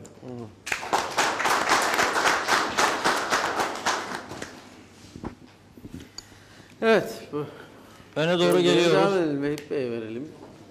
Şinasi hocam böyle yan yan bakıyor mikrofona. Beyit verin sonra. Sayın Reşat Akar şahsınızda Diyalog TV camiasına, e, Lefke ve Yeşilyurt bölgesine bu güzel, pardon, güzel imkanı bahşettiği için çok teşekkür ederim. Sağ olun. Şimdi arkadaşlar burası yani Gaziveren, Doğancı, Taşpınar'dan Yeşilırmak'a kadar olan bütün bölge genel anlamda Lefke bölgesidir. Lefke bölgesi son zamanlarda tarım, eğitim ve turizm üzerinde gelişme yönünde bir e, çok büyük oranda bir konsensus sağlamıştır. Tabii tarım olmazsa olmazımızdır. Bu yeşil dokunun, güzelim dokunun e, da e, kaynağıdır. Tabii tarım su olmazsa da olmaz. Şimdi az, az önce arkadaşlarım hep sudan bahsettiler. Bahsettiler. Tabii bana göre bu kuyularla e, su temin etmek ve e, bahçeleri kurutmamak, idame etmek, çiftçinin, üreticinin e, meişetini, ekmek parasını kazanması e, çok doğaldır ve bu istekler de çok doğru isteklerdir. Ancak e, olaya geniş çerçevede baktığımız zaman kuyularla bu bölgenin su sorununun uzun vadede çözülemeyeceğini her hepimizin bilmemiz lazımdır. Seneler çok uzun süreden beri kurak gitmektedir. Bizim çocukluk dönemimizde 15 gün 15 gece yağmur yağardı ve bazı eski evler o zaman damı kil olan evler de vardı. Bunlar yağmurun bolluğundan göçerdi. Şimdi artık onlar çok gerilerde kaldı. Dolayısıyla su petrol kadar değerlidir. Şimdi arkadaşlar herkes biliyor ki Yeşilırmak Deresi'nde dere altından 9 milyon metreküp su devamlı olarak denize akmaktadır. Ancak biz Yeşilırmaklılarla barışarak bu suya el e, bu sudan faydalanmanın yolunu bulamadık. Şimdi ilk önce her dereden yararlanan çiftçinin, köylünün, üreticinin hakkını yasal garantilerle teslim etmemiz lazımdır. Bunu yaptığımız zaman Yeşilırmak suyunu da alabiliriz, Gemi Konağı Madenli Dere suyunu da alabiliriz. Lefke Deresi ki Kıbrıs'ın yalnız kuzeyin değil, e, bütün adanın devamlı yaz kış akan üç deresinin biridir.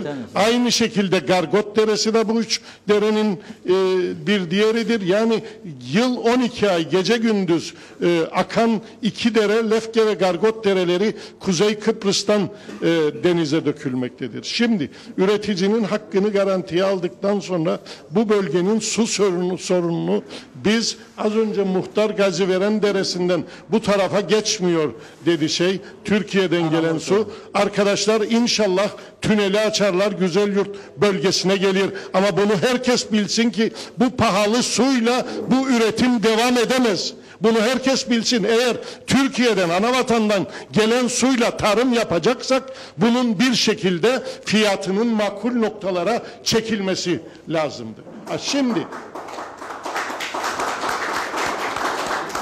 Arkadaşlar biz gemi, Yeşilırmak, Gemi Konağı, Lefke ve Gargot derelerinin sularına e, sahip olduğumuz zaman bunları e, tasarrufla kullandığımız zaman bizim ilçemize kendi suyumuz bol bol yeter. Artanı da Güzelyurt ilçesindeki üretici kardeşlerimize aktarabilecek de olanağa sahip oluruz. Onun için buradan ben e, Sayın Tarım Bakanı'na e, bir çağrıda bulunayım. Süratle e, hemen şimdi bir karar versinler ve bu dereler üzerinde bir barajlar zinciri e, yapalım ve bu bölgeyi susuzluktan kurtaralım. Yani arkadaşlar tabir caizse biz su bolluğu içerisinde su fukarasıyız. Evet, şimdi su sorununu bu şekilde e, çözdükten, e, konuştuktan sonra diğer konulara da bahsetmem gerekir. E, Sayın Töre kardeşim e, görüşmelerde bu bölgenin de verildiği veyahut e, konuşulduğunu söyledi. Bize aktarılan e, Sayın Cumhurbaşkanı'nın e, güneye hassas olunan bölgelerde konuşulabilir diye bir mesaj verdiğidir. Ana vatanın da bilgisi dahilinde. Ben tabii şimdi Sayın Akıncı'nın e, savunmasını veya avukatlığını yapacak pozisyonda değilim. Haddime de düşmedi ama bize verilen e, bilgi e, herhangi bir bölgenin verileceği e, konusunun açıklanmadığıdır. Ha, Birleşmiş Milletler'e her iki tarafın da harita verdiği ve bunlar e, Birleşmiş Milletler'in kasasında olduğu da yine herkes tarafından bilinen gerçeklerdir. Bunlar da açıklandı. Şimdi arkadaşlar biz e, şeye Lefke sahil şeridi dediğimiz Gaziveren'den Günebakan'ı da söylüyorum. Altını çizerek söylüyorum. Çünkü Günebakan Türk köyüdür. Arkadaşlar biz 74'te Günebakan'ı niçin boşalttığımızı da ben hala daha anlamış değilim. Ha Yeşilırmak ha Günebakan niçin boşalttık bilmem. Onun için e, Gaziveren'den Güne Bakan'a kadar biz sahil şeridine sahip çıkmak durumundayız. Bu bizim olmazsa olmazımızdır. Sahil çıktığı e, sahil şeridi elden gittiği takdirde biz Lefke'de gırak gırak öteceğiz. Bunu da herkes bilsin. Onun için sahil şeridi bizim olmazsa olmazımızdır. Barıştan yana olmamıza rağmen bu gerçeğin de herkes tarafından bilinmesi lazımdır. Şimdi gelelim e, ilçe konusuna. 27 Aralık 2016 tarihinde Cumhuriyet Meclisi'nin oy birliğiyle aldığı bir kararla e, Lefke ilçe yapıldı. Bu önergeyi e, Cumhuriyet Meclisi'ne taşıyan hükümete ve bu önergeye oy veren tüm milletvekillerine artı parlamentoda temsil edilmemekle beraber bu e, uğraşımızda bize destek veren parlamento dışı e, partilere ve diğer e, kuruluşlara, sivil toplum örgütlerine burada teşekkür ederim. Ancak arkadaşlar ben de e, diğer konuşmacı arkadaşlara katılıyorum. Evet bir günde geceden sabaha ilçenin tüm e, gerekli e, organları yaratılamazdı. Onun da bilincindeyiz. Ancak aradan bir yıla yakın büyük bir süre geçti. Bu süre içerisinde e, kat ettiğimiz mesafe çok çok kısadır, çok küçüktür. Bir kaymakam atandı, e, başbakanlığa bağlı gençlik dairesinin bir şubesi açıldı. Bunun dışında çok fazla bir şey yapılmadı. Benim şimdiden e, buradan Sayın Başbakan'a ve hükümete çağrım bir an önce, şeye de onu da konuşalım. E, muhalefet milletvekilleri o toplantıda 27 Aralık toplantısında bütçede kalem olmadığından bahsettilerdi. Sayın Serdar Denktaş da arada başka kalemlerden aktarma yapılabilir. Ancak işte döviz de yükseliyor bazı zorluklar var demişti. Onları bir an için kabul edelim ama artık 2018 bütçesinin görüşüldüğü günlerdeyiz arkadaşlar. Lefke'nin tam anlamıyla ilçe olabilmesi için gerekli ödeneğin e, konmasını buradaki sayın iki milletvekili arkadaşımdan da rica ediyorum. E, hükümetten de rica ediyorum. Gerekli kalem konsun. Şimdi geçelim Kırmızı Liman dediğimiz son günlerin konusuna. Nazif arkadaşım e, şeyden bahsetti. Yani yasanın geçtiğinden. Yasa henüz geçmedi arkadaşlar. E, meclisin açıldığı gün e, serbest bölge ve limanlar yasasının tadil yasasına öncelik verildi. Bu yasanın hemen derhal geri çekilmesini talep ediyoruz. Ben en azından Lefke Vakfı Mütevelli Heyeti Başkanı ve bir Lefkeli olarak bu yasanın yasa değişiklik tasarısının önerisinin hemen derhal hemen şimdi geri çekilmesini talep ederim. Şimdi arkadaşlar e, hep sivil toplum örgütlerini burada hiçbir şey yaptırmaz diye nitelediler. Kesinlikle öyle bir şey yoktur. Biraz önce de söylendi. 2007 yılında e, maden şirketinin bırakmış olduğu 1800-2000 dönüm arasındaki denize sıfır geniş alan İSPİ diye bir şirkete kiralandı. Ve bu şirkete kiralanmazdan önce 2003 yılında lima, serbest liman ve bölge yasasında yapılan tadilatla gemi konağı serbest bölge ve liman bölgesi olarak ilan edildi. Şimdi orada taş taş üstüne konmamışken, bir tek çivi çakılmamışken birisi gelsin ve bize lütfen izah etsin. Niçin Kırmızı Liman'da bu sefer bir de yeni e, ismi ekleyerek yeni e, gemi konağı serbest bölge ve limanı ilan etmeye ne gerek var? Onu bize birisi izah etsin. Eğer birisi marina yapacaksa serbest bölge ve liman ilan edilmesine gerek yoktur. Eğer birisi liman yapacaksa buna da gerek yoktur. Eğer birisi balıkçı, balıkçı barınağı yapacaksa serbest bölge ilan etmeye gerek yoktur arkadaşlar. Ve biz ne limana ne marinaya ve ne de e, balıkçı barınağına karşı değiliz ve bunun talebini yapıyoruz. Buna talibiz istiyoruz. Bölgemiz için bunlara talibiz. Ha, ama herkes bilsin ki biz kesinlikle ve kesinlikle kirli yatırımlara geçit vermeyeceğiz. Bu bölgede yapılacak yatırımlara öncelikle Lefkeliler yani Lefkeliler derken Gaziveren, Doğancı, Taşpınar ve batısında oturan bölge sakinleri karar verecek. Sayın Başbakan da bu bölgenin bir insanıdır. O da bu bölgenin bir ferdidir. O da bizimle beraber karar verebilir. Ama bizim dışımızda hükümet edenler, mecliste olanlar bizim kaderimizle oynayamazlar ve bizim kaderimize karşı karar alamazlar. Bravo. Şimdi arkadaşlar Evet, bunu da söyledikten sonra bir konuya daha değinip kapatacağım. Çünkü başka arkadaşlarım da konuşacak.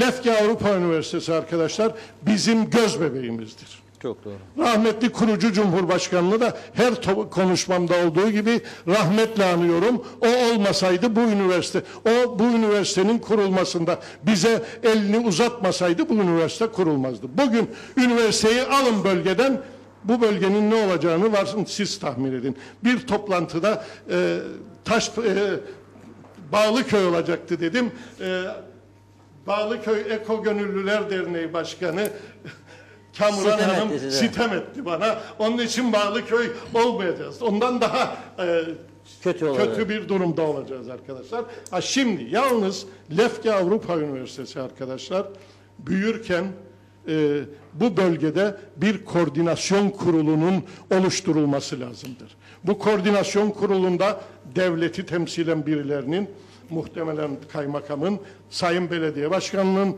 LAÜ rektörünün ve sivil toplum örgütlerinin temsilcilerinin yer alması lazımdır. Bugün arkadaşlar beldenin e, döjür nüfusu 12 bin, öğrenci nüfusu 11 bin. Ha, Bunun dışında vatandaş olmayanlar da var. Onlar da ayrı e, konu. Ama artık e, bu mevcut yapıyla bunu götürmemiz mümkün değil. Bu koordinasyon kurulunun kurulması lazım. Nereden öğrenci taşınacak? Nereye kadar taşınacak? Kaç tane e, konut var boş? Ha, şimdi arkadaşlar Güzel Yurt bizim kardeşimiz.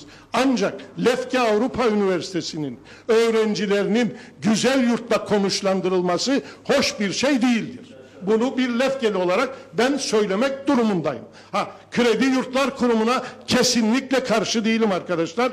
Bizim Kıbrıs yurtlarının kapandığı zaman da ben de iki yıl son iki yılımı üniversitede İstanbul'da Kredi Yurtlar Kurumu'nda kalarak e, devam ettim. Onun için Kredi Yurtlar Kurumu özellikle e, Türkiye'den gelen ve gelir düzeyi düşük olan öğrenci arkadaşlarımız, kardeşlerimiz için olmazsa olmazdır. Ancak bu üniversite kurulurken bu üniversiteyi biz hep beraber 26 yıl önce kurarken bu üniversiteyi Lefke ve yakın bölgesinin sosyoekonomik durumunu güçlendirmek için kurduk. Ve öncelikle bu e, ekonomik ve sosyal e, getirileri öncelikle Lefke ilçesine hasredilmek durumundadır. Ha, Kredi Yurtlar Kurumu eğer e, burada daha fazla öğrenci barındırmak isterse adres Lefke ilçesidir. Lefke'de. Burada yurtlar yapacak ve burada öğrencilerini barındıracak. İnşallah ya, e, birkaç gün sonra 16'sında açılışı yapılacak olan Sosyal Bilimler Fakültesi kıs- kısa sürede o da büyür. Güzel Yurda Lefke Üniversitesi'nin Lefke'ye yaptığı katkıyı e, Sosyal Bilimler Üniversitesi ve Orta Doğu Teknik Üniversitesi'nin e, Kıbrıs kampüsü o katkıyı güzel yurda yapar. Şimdi arkadaşlar 50 insanlar taşın altına koydular. Lefke'de, Lefke ilçesi içerisinde yüzlerce boş e, öğrenci barınağı vardır. Onun için e, bunun da dikkate alınmasını e, rica ederim. Bu imkanı verdiğiniz için de çok teşekkür ederim. Sağ olun. Evet sonlara geliyoruz. Ver, e, konuşmak isteyene söz verelim. Çok kısa kısa ve Ön bitirelim. tarafa vekillerimize, birlik başkanımıza bırakacağız çünkü. E, yoksa Ver Musa Bey. Öncelikle herkese iyi akşamlar. Ee, değerli dostlar tabii ki biz birçok bölgeyi gezerken en bu son, en son sorunlara her zaman e, görüyoruz ve izliyoruz. Bitmez tükenmez sorunlar ama şunu görüyorum ki birçok bölgedeki özellikle sivil toplum örgütleri özellikle birçok bölgedeki örgütler kitle anlamda ses getirdiği sürece o bölgelerde kitle e, birçok açılım yapılabilmektedir. Tabii ki biz e, gördüğümüz yerlerde en önemli sorun su sorunu. E, Birçok kişi de bu akşam da bu su sorununa değindi. Ben merak ediyorum. Şimdi hükümet 2.30'a suyun fiyatını belirlerken nasıl olur da bu belediyeleri çağırıp veya belediyeler birliğini çağırıp neden bu suyun fiyatını da belirlememiştir? Yani sizin satmanız gereken su bu olması gerekir. Güzel yurtta 5 lira, Girne'de 7 lira. Efendime söyleyeyim mesela 3,5 lira değil. Siz hükümetseniz eğerli bir haliniz varsa ve idare edebilirseniz bir tarım bakanlığı olarak diyecektiniz. Nasıl 2.30 lira belirlemişseniz, nereden belirlemişseniz bu maliyeti aynı şekilde demeniz gerekirdi. Siz Lefkoşa 7 lira değil. Ona da aynı şekilde dememiz lazımdı. Bu sunum fiyatı 3 lira olması gerekir. Ama bunu yapamadınız. Ne dediniz? Belediyelerle ilgili anlaşınız dediniz. Ve bugün tarım suyu, hayvancılık suyu bile 5 lira, 6 lira tonudur. Böyle bir şey olamaz. Diyeceksiniz ki ben içme suyundan tarım suyunu ayırıyorum. Efendime söyleyeyim hayvancılık için suyu ayıracağım. Ve onu 2 liraya vereceğim veya 1,5 liraya vereceğim. Destekleyeceğim, teşvik edeceğim. Ciddi bir ciddi maliyetidir diyeceğim. Eşim diyor ki bu bana bir kuyu izni vermediler. Zaten bugüne kadar verilen kuyu izinleriyle yanlış verilen kuyu izinleriyle kendi kuyumuzu kazdık. Verdik verdik verdik birçok yerde doğru şekilde verilmedi. Şimdi de su geldi diye kuyu izni vermiyoruz. Ne yapıyoruz biliyor musunuz? Şimdi seçim dönemine girdik. Bunu bile bir seçim propagandası haline getirdik. Yani benim adamıma vereceğim, o kaçsın. Benim adamıma vereceğim, o yapsın. Anlayış doğru değildir. Siz ülkenin her yerindeki insanlara aynı mesafede olacaksınız. Siz siyaset gözetmeyeceksiniz. Siz insanlara insan olduğu için müdahale edeceksiniz. Ama siz geldiniz şimdi diyorsunuz ki benim partimdendir, asla kuyu izni, benden neyse bekle. Böyle bir iş olmaz. Böyle hükümetçilik olmaz. Bunu yaptıkları için zaten ülkenin her yerinde ciddi tepkiler almaktadırlar. Çünkü siz siyaseti silah olarak kullanıyorsunuz. İnsanlara ekmeği silah olarak kullanıyorsunuz. Bunlar doğru politikalar değildir. Bir stratejik olacak sizin. Bir politikanız olacak. Ve nasıl seçim dönemi geldiğinde çıkıyorsunuz ve dersiniz ki Tanrı politikam budur. Eğitim politikam da budur. Uyuyor musunuz? Yok uymuyorsunuz. Sadece onlar sizin o destekçilerin içinde kalır. Bu politikalar uygulamazsınız. Ne yaparsınız? Bu küçük ülkede ben seçileyim, o seçilsin, biz seçilelim diye kullanıyorsunuz. Şimdi bakıyorum müdürlerin yapması gereken işleri bakanlar yapıyor. Bakanlar diyor ki müdürlere sakın müdahale etmeyin ha.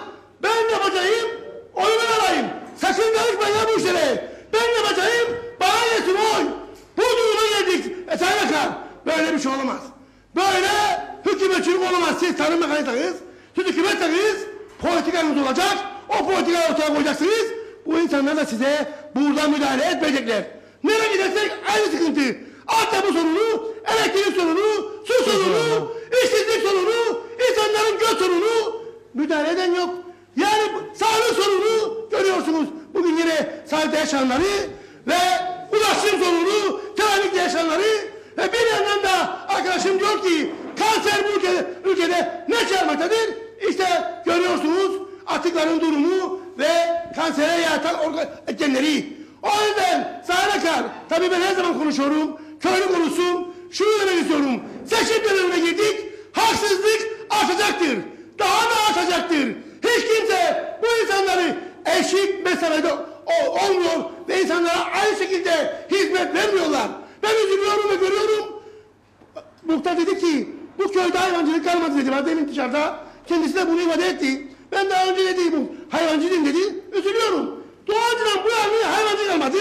Doğancıdan da can çekişin. Mesele kadar da ciddi sıkıntı içinde. Sana zam başka bir şey yok. Zamdan başka bir şey yok bu ülkede. O zaman siz zamla bu ülkede bir şey ilerlemesiniz ha. Bugün tüp gaza bir buçuk lira gene gaz zam geldi. Dolar çıkarkandan, döviz çıkarkandan bunun bedelini kim öder? Halk öder. Teşekkür ederim. Bravo. Ver Şenes hocama. Ver oğlum Şenes. Ver Şenes hocama bakayım. Şimdi son konuşmacı olmak isterim. Onun için O zaman Çalıdağ'a verelim. Tabii öncelikle hoş geldiniz. Sizleri sabırla dinledik. Tabii herkes layık olduğu gibi yönetilir. Bu insanlar 47-42 sene var burada. Herkes şikayet ediyor. Tarımdan hayvancıya, hayvancıdan e, turizme kadar olur. Özellikle ülkemizde son ilçemizde olduğumuz için de ilçe olmasında katkı koyanlara teşekkür etmek lazım. Ve ben dediğim gibi de sabahtan akşama ilçe olduk da her şey tamam olacak değil. Önce biz kendimizi bir an imtihan etmemiz gerektiğini, kendi kendimizi sorgulamamız da gerektiğini düşünüyorum. Bu duygularla hareket edip bu güzel ülkede yaşayabileceğiz. Ülkede barış geldi, geliyor 42 sene var. Bana göre ülkede barış 74'te geldi. Hem kuzeye hem güneye geldi. Bu yanlıştır. Ya sağa göre yanlış olabilir. Bana göre tamam. Sağa göre yanlış olabilir. Herkesin düşüncesini söyledi. Ben düşüncemi söyledim. Bana göre 74'te hem kuzeyde hem güneyde barış oldu. O günden bugüne kimsenin burnuna kanlamadı. Dolayısıyla artık bu insanlar umudunu bu ülkeye bağlayacak ve bu hükümetlere bağlayacak. Bu siyasete bağlayacak ve kendi sorunlarını kendi içinde, kendi çaresini bulacak. Yeşilyurt'ta 2013'te binden fazla nüfus vardı. 2000 bugüne baktığında 800'e düştü nüfus. Kaç senede kaç kişi aldık. Dolayısıyla umutsuzluk insanları bitiriyor. Herkes umutsuz olmasın. Kendi kendi sorunlarına sahip çıkarsa bu işlerin daha iyi gideceğini hayvancı şikayet eder. 42 sene hayvancı şikayet eder. Turizmci de aynı şikayet eder. Ama seçilenler aynı insanlar. Peki bunun suçlusu yani siyasiler mi? Sadece siyasiler mi suçlu? Bu arkadaşlar lütfen başını kumdan çıkarsın ve nereye gittiğini fark etsin. Ve Vehip Bey'in ifade ettiği gibi bu basit çiftçi doldu. Çiftçi öldü, bir teşvik almadı. Şimdi her yer, her sektör, her sektör turizmden tarıma kadar teşvik almasına rağmen insanlar mutsuz. Bunun nedeni nedir? Bunu artık ben uzman değilim, profesör de değilim. Bunu uzmanlar araştıracak Ve ve, kendi kendine bulsun. Su ağzımızdan çıkar, Lefkoşa'ya gider kimse görmez. Ama bir kişi su bulursa veya da su aldıysa veya su kullandıysa herkes kendi içinde kavga etmeye başlar. E kardeşim su senden çıkar, dip karpazına dayanıyor. Bunu kimse görmez. Su geldi güzel yurdalara girdiğimiz daha su alamadık. Türkiye'den gelen suyu da alamadık. Kimse ağzını açan yok.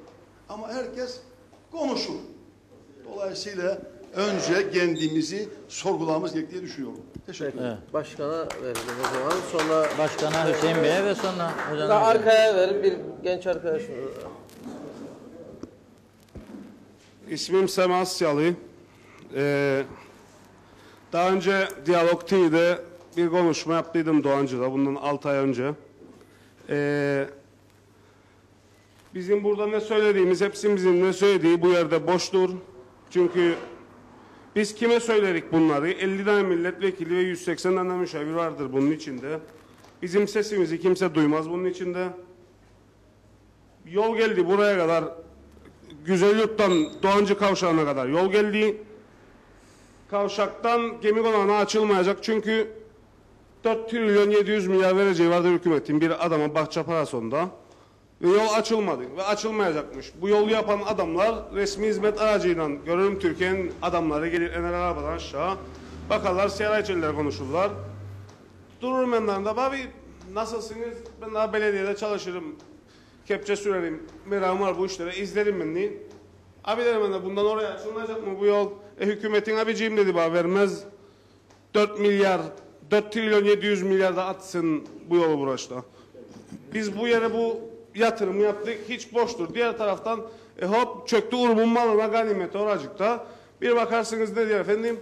Hep ben de isterim barış çünkü ateşkes oldu bu yerde. Ee, Türkiye barış getirdi 74'ten sonra. 74'ten sonra buraya gelen şu anda zaten 85 bin Kıbrıslı var bu yerde. 450 bin tane Türkiye'li. Yani bunun içinde bir referandum yapacak olsanız buracı vali olarak da bağlanır. Ee, Kıbrıs Federasyonu olarak da bağlanır. Yani bizim burada ne söylediğimiz hepsi boştur. Ee,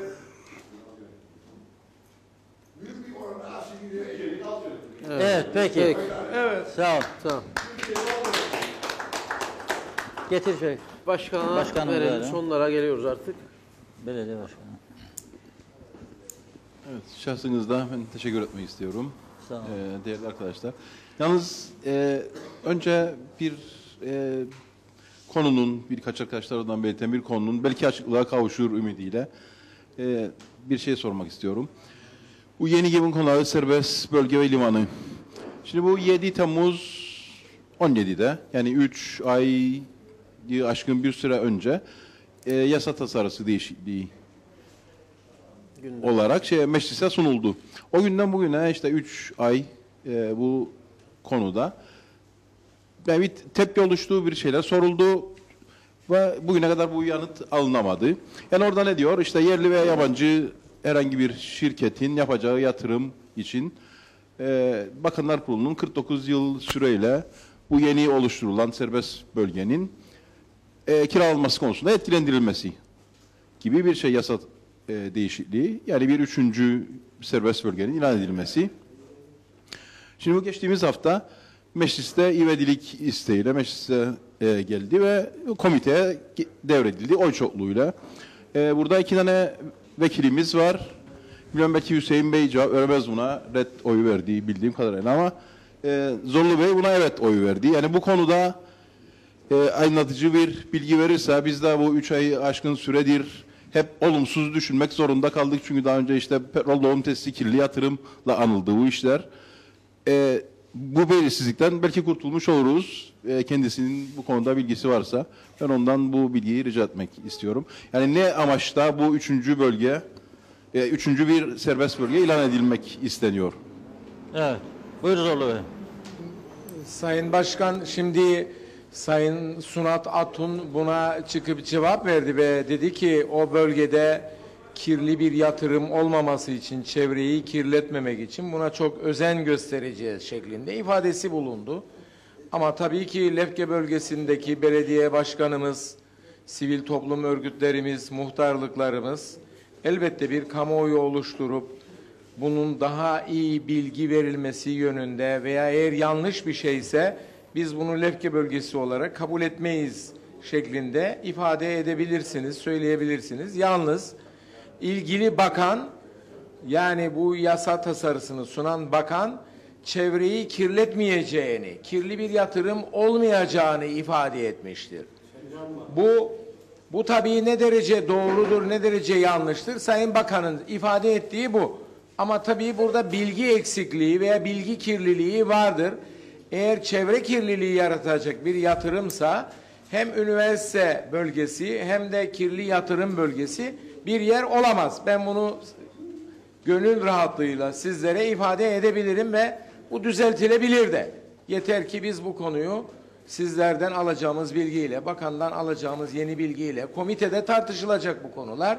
Dolayısıyla komite bu bölgenin sivil toplum örgütlerini, belediye başkanını, muhtarlarını davet edip onları da dinleyebilir ve bakanı da davet edebilir, ilgili müsteşarlığı, sanayi dairesini onları da davet edebilir ve bu durum açıklığa kavuşturulabilir. Yani her şey son nokta konmuştur, bu iş olmuştur, bitmiştir şeklinde ben olayı düşünmüyorum. Ama elbette hükümetin getirmiş olduğu bir yasa tasarısına ben milletvekili olarak orada e, görüşülsün demişimdir. Demek mecburiyetindeyim zaten. Çünkü bakanın da izahları kirli sanayi olmayacaktır o bölge. Çevre kirliliği yaratmayacaktır şeklinde açıklaması olmuştur. Teşekkür ediyorum. Şimdi Sayın Vekilime burada başkanın bir şey söyledi. Siz mecliste Sayın Ayağı. Vekilim e, evet e, olumlu oy kullandınız diye bir şey söyledi başkanım demin. Yani siz olumlu oy kuyla- kuy- kullandığınız e, bu şey serbest liman konusunu bilmemekte misiniz? Yani bilmediğiniz bir şeye olumlu oy kullandınız. Hayır biliyorum. Ben anlamadım yani. Sayın Bakanın Siz bir saniye. öyle bakanın ağzıyla konuşursunuz. Size biz sizin burada bize gerekli açıklamayı siz nere evet kullandığınızı, olumlu oy kullandığınızı bize açıklayın. Siz ne anladınız ki olumlu Benim- oy kullandınız? İşte Biz benim- bunun merakını, biz Sunat Atun'un söylediği çalışacağız kelimesi artık demode olmuştur. Çalışacak demeyle çalışılmaz. Biz sizin görüşünüzü, siz yani olmayacağınıza inandığınız için mi evet oy kullandınız? Bunun cevabını ben başkanımın yaptığı size sorudan dolayı ben bunu duymak isterdim. Ben inceledim ve böyle olumlu gördüm. Onun için evet oy kullandım. Ben de kendimi rahatladayım. Çünkü Sunat Atun'un söylediği tamamen bu halkı kandırma yönündedir. Yani bu gerçekten yani ben sizden bunun cevabını isterim vekilim.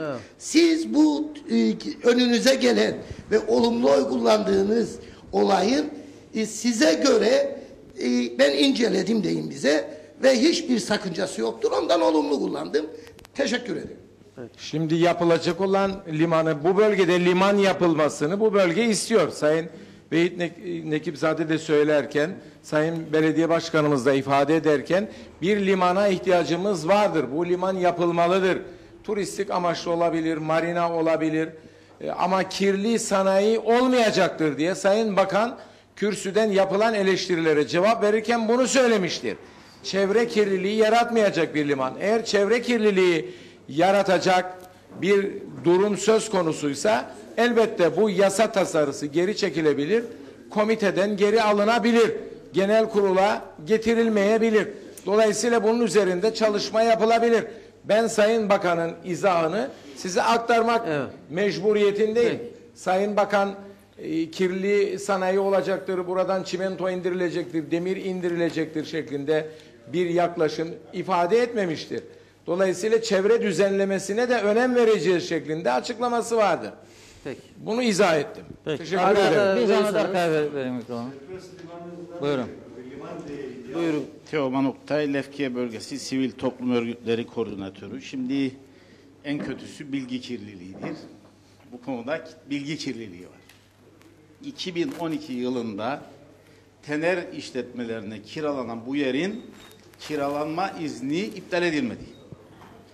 Ve o dönem yalnız iptal edilen ÇED raporuna uygun olmayan petrol dolum tesisi, sintene dolum tesisi ve rafineridir. Yani o işletme o şekliyen hale, halen orada daha durur. Sayın vekilin bilgisi yoksa öğrensin. Esas neden zaten bu yasanın serbest bölgeye ilan edilmesinin nedeni bu ÇED raporu ve diğer raporlardan kaçırılmasıdır. Siz serbest bölge ilan ederseniz bu ÇED raporunun dışına atmış olursunuz, kontrol dışına atmış olursunuz. Onun için burada bir kirli bir e, bilgilendirme vardır. E, tam vatandaş bilgilendirilmemektedir. Şimdi aslında başka bir şey daha vardır. E, fazla konuşmak istemedim çünkü Yeşil Yurtlu kardeşlerimin konuşması gerekirdi. Dikkat etseniz dışarıdan gelen, gerçi biz Lefke bölgesindenik ama biz de köye dışarıdan geldik. Olsun. Bölge. Daha çok. Bölge insanları. İnsan daha çoktur. Neden? Çünkü insanların artık siyasete ve siyasetçilere güveni kalmamıştır. Yani buraya gelip ben bir şey söyleyeyim bunun neticesinde de sor- söylediğim sorun çözülecek diye bir güveni yoktur. O nedenle vatandaş bu tür programlara ben sizin programınızı izlerim ülkenin nabzını unutmak açısından dikkat ederim katılım her geçen gün azalmaktadır. Bu siyasete ve siyasetçiye olan güvenin azalmasındandır. Şimdi Yeşilyurt köyünün birçok sorunu vardır aslında. Üzüm üretimde ülkede birinciydiler. Üzüm üretimi gitti. Döndüler narinci üretimi zaten ülkede çöktü. Burada o da çöktü. Ee, şimdi üniversiteye yönelik yurt yapmaya başladı bu köy. Ciddi de iki tane büyük yurt yaptılar. Az önce Vehit Bey'in ifade ettiği buradaki öğrencilerin güzel yurda taşınması bu köye ve bölgeye diğer felaketlerini de beraberinde getirecektir. İkinci yurdu yapan arkadaşımızla ben bir hafta önce konuştum. Daha yurdum bitmedi dedi ama bitme aşamasındadır. Bana bir kişi dahi müracaat etmedi. Bu çok önemli bir e, veridir. Önümüzdeki dönem yalnız Yeşilyurt değil, Lefke bölgesinde çok ciddi bir yıkım yaşanabilir. Çünkü bu binaların yapan birçok kişiyi biz bizzat tanırız. Borçlandı. Hepsi devlet şeyden bankalardan Bankalardan boşalmıştır ve burada barındıracağı öğrenciden karşılayacak bu kredilerinin e, taksitlerini ödemeyi. Buradan ben Vehit Bey'in söylediğini tekrar ediyorum. Bu konu ciddiyetle ele alınsın. Zaten Güzel Yurt'ta iki tane üniversite vardır. Burada 2000'e yakın iki dönem Güzel Yurt'a taşınıyor. Bu ciddi bir olaydır. Bölgede yeni bir yıkım demektir. Şimdi su bölgenin değil adanın problemidir. Ama bizim bölgemizin var olan sudan dolayı kullanımdan dolayı bir e, problemi Sıkıntı vardır. Dışarıya gönderilir. Şimdi siz istediğiniz tüneli yapın, güzel yurda getirin, buraya da getiriniz. Eğer biriniz yoksa kullanamazsınız. Neden bugün e, Geçitköy'deki su denize akar? Çünkü biz planlamamızı yapmamışız. Doktor. İşte Lefke bölgesi sivil toplum örgütleri önümüzdeki dönem ajandasına şunu koydu. Lefke ilçesinin su potansiyeli ve kullanım stratejileri. Bir hafta on gün sonra bu konuda bir çalışma yapacak. Sizin istediğiniz e, kadar suyunuz olsun. Eğer siz bunu nerede nasıl kullanacağınızı planlamazsanız hiçbir şey ifade etmez ve o su orada denize aktığı gibi burada da boşa akacaktır. Bu tür planlamaların devlet eliyle ciddi bir şekilde ve süratle yapılması gerekir. Yapılması lazım. Çünkü e, gelen su kullanılmıyor. Ne kadar büyük değer isterseniz getirin buraya.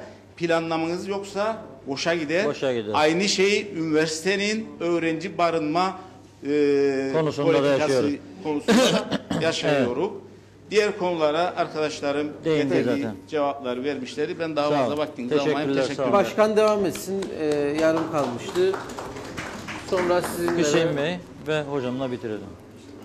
Evet, yani görünen bağda ancak e, bu başların altını bir çizmek gibi bir şey kaldı çünkü bütün sorunlar e, belirtildi. Yani burada arkadaşlar herkes vakıf çünkü bizzat e, yaşıyorlar bu sorunları. Su Yani- konusuna bir açıklık getirseler. Bu gelecek Evet, mi şu an- gelmeyecek mi bu anamur suyu size? Bilgi verdiler mi? E, yani şu an itibariyle bilinen projelendirilecek olan kısım bu Doğancı Deresi'ne kadar olan bir e, Oradan buraya yere yok kadar. yani. Oradan buraya yok. E, ha, yolda zaten oraya kadar oldu. Yani ona ilişkin özellikle bu köyün bir sıkıntısı var. Çünkü bu köyün arazilerini, bahçelerini tam ortasından böldü. 2-3 yerde tıkanıklığa uğradı. Geçilemedi. E, istilmak sorunu var. Bir de istimlak edilen yerlerin bedelleri henüz ödenmedi.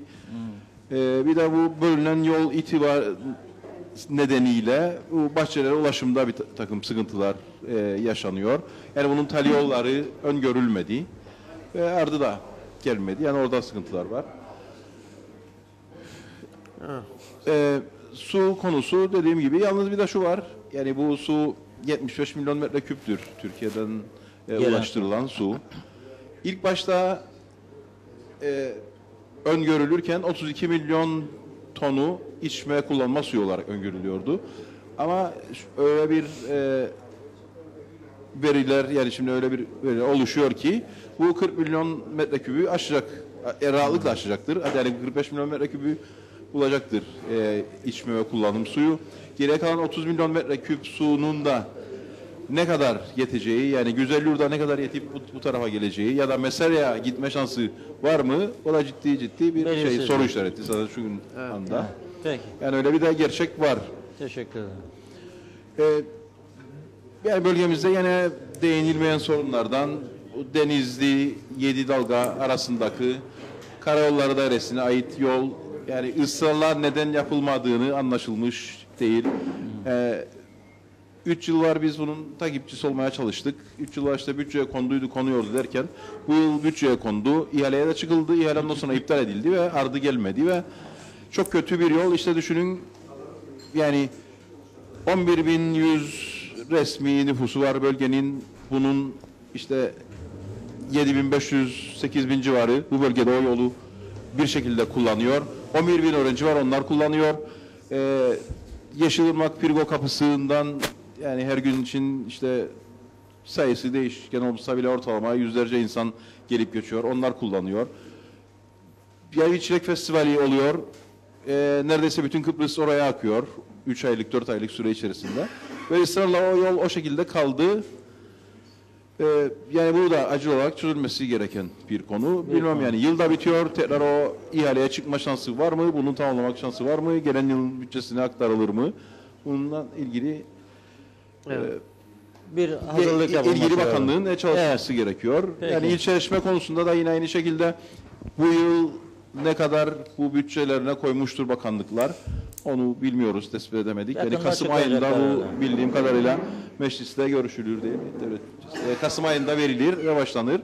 Yani çok az bir süre kaldı. Yani işte Ocak, Şubat aylarında geçen bu yılın başında tüm bakanlıklar, daireler geldi gitti bir şeyle böyle büyük bir şevkle daire yeri bakmaya es, devlete ait olan binaların tam yerine onların daireler, ilgili dairelerin oluşmasına ilgili ama ardı gelmedi. Umarız ki e, bu yılın 18'in Bütçesinde- bütçesine bunlar konur. Büyük bir Yani aksi halde çok büyük bir e, nasıl diyeyim hayal kırıklığı yaratacaktır bu. Çünkü yani tamam bütçesi konmaydı makul bir süre, süre Bu sene her şey olacak. Seçim var. Madem ki bütçeye girecek o kesindir yani. Ama bu makul süre yok. dolmuş durumdadır. Ee, yine işte karneleşmiş sorunumuz CMC atıkları. Onu He. tekrar söylemeye gerek yok. Yani 40 bu yıldır kesin. aynı konuyu konuşuyor Evet. bu ülke. Bir şekilde temizlenmesi şart. Evet. Peki. Teşekkür ederiz Sayın Başkan. milyon metreküp yaklaşık 9 milyon metreküp yeşil dalga, yeşil ırmak oradan denize akıyor. Bu çok önemlidir. Ha, bu çok ciddi. ha. önemlidir. Ver. Bak Türkiye'den Ver. buraya 35 milyon metreküp su e, tarımsal amaçlı 35 milyon metreküp tarımsal amaçlı su verilecek. Ama bu bölgedeki dereler ve denize, yer altından denize giden suları değerlendirirsek 15 milyon metreküp su kazandırabiliriz. Bu çok önemlidir ve bu yatırımı mutlaka gerçekleştirmek lazımdır. Anavatan Türkiye bu bölgede bir proje yaptı ama bir mahkeme emriyle o durduruldu ve bu projeden vazgeçildi. Büyükelçi de o toplantıya katılmıştı ve çekip ayrıldı orada çıkan tartışmalardan. Bu projeyi yeniden hayata geçirmek lazım. Çünkü bu Lefke bölgesinde, Yeşilırmak bölgesinde en az 15 milyon metreküp zayzuy olmaktadır. Ya yer altından denize akmaktadır ya da boşu boşuna kaybolup gitmektedir. Üreticilere de güvence verilerek, üreticilere de güvence verilerek bu proje mutlaka ele alınmalıdır. Saygılar. Peki. Sağ olun. Var. Evet Hüseyin Bey. Ben bir daha şeyden bahsedeyim. Buyurun başkan.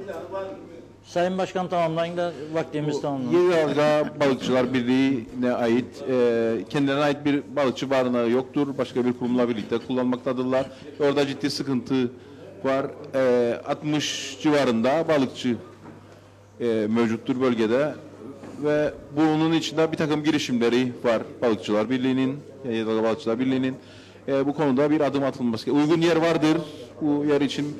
Daha önce bir takım projeler de yapıldı ama hep akamete uğradı. Bunun tamamlanması gerekir diyorum. Saygılar sunarım. Sağ olun. Peki. Evet Buyurun. Hüseyin Bey. Öncelikle e, Diyalog TV'ye ve ekibine teşekkür ederek başlamak istiyorum.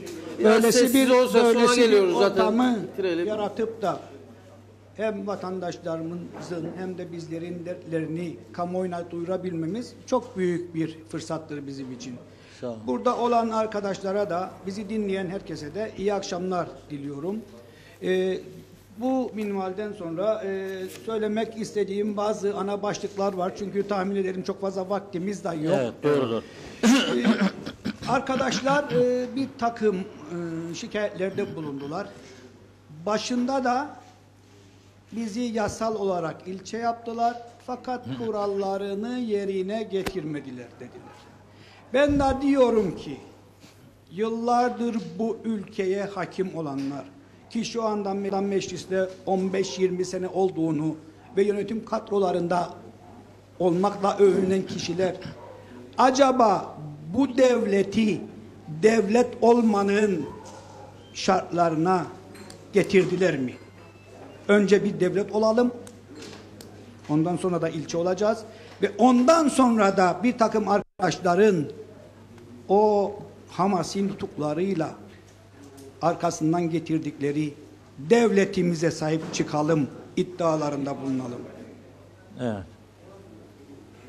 Böylesi hani insanların moralini bozacak, düşüncelerini, umutlarını karartacak, eskide kalmış, yıllar öncesinde kalmış bir takım plan programları pişirip pişirip halkımızın önüne koymayalım. Yeşil yurt verilecekmiş. Ne bileyim 60 bin insan göç edecekmiş. Değerli arkadaşlar, bugün konuşulan çözüm şekli her iki toplumun da kabul edebileceği ve bu ülkenin geleceğini parlatacak, umutlarını artıracak, insanını mutlu edebilecek bir çözüm şeklidir. Kim ne derse desin, ortaya çıkacak çözüm şekli böyle bir şekil değilse eğer, referandumlardan geçmez. Onun için artık bırakalım bu teslimiye olacağız, gideceğiz, mahvolacağız düşünceni. Oturalım ve bu ülkenin kuzey kesiminin devlet olmanın gereklerini yerine getirelim. İdareciler olarak bizler, hükümettekiler kalkıp da imtiyaz elde etmek için sırayla bakanlık, sırayla müsteşarlık, sırayla müşavirlik ortamını sürdürmeyelim. Adama sormuşlar. Ne yapan abi? Her şeyi yaparım. Maalesef bizdeki bazı arkadaşlar da her şeyi yapıyor. Evet. Üçten Ama ne yapıyor? bakanlık değişen Ama ne yapıyor? arkadaşlar var. Söz veriyor. Limanı devreye sokacak diye. Kamuoyunda bu çıkıyor. Biz de açık destek veriyoruz. Ben şahsen verdim. Başımıza öyle bir yasa tasarısı çıkıyor ki evlere şenlik. Biz böyle bir liman istemedik ki senden. Eğitim turizm adasıdır burası. Tabii ki tarım sektörünü de destekleyeceğiz ama esas bu ülkeyi kurtaracak olan bu hizmet sektörleridir. Eğer ben bunun koşullarını bozarsam burada, Lefke'de, Gaziveren'de, Karpaz'da hangi turizmden bahsedeceğim? Ya. Hangi eğitimden bahsedeceğim? Maalesef bu ülkeyi şu anda yöneten zihniyet ki yıllarca bu ülkenin şekillenmesinde görev almıştır, hakim olmuştur. Maalesef üzülerek söylemek isterim ki bu ortamın devamı için felaket tellallığı, makam dağıtımı ve memleketi peşkeş çekmekle meşgul. Öyle bir noktaya getirdiler ki artık sınırı da kalmadı.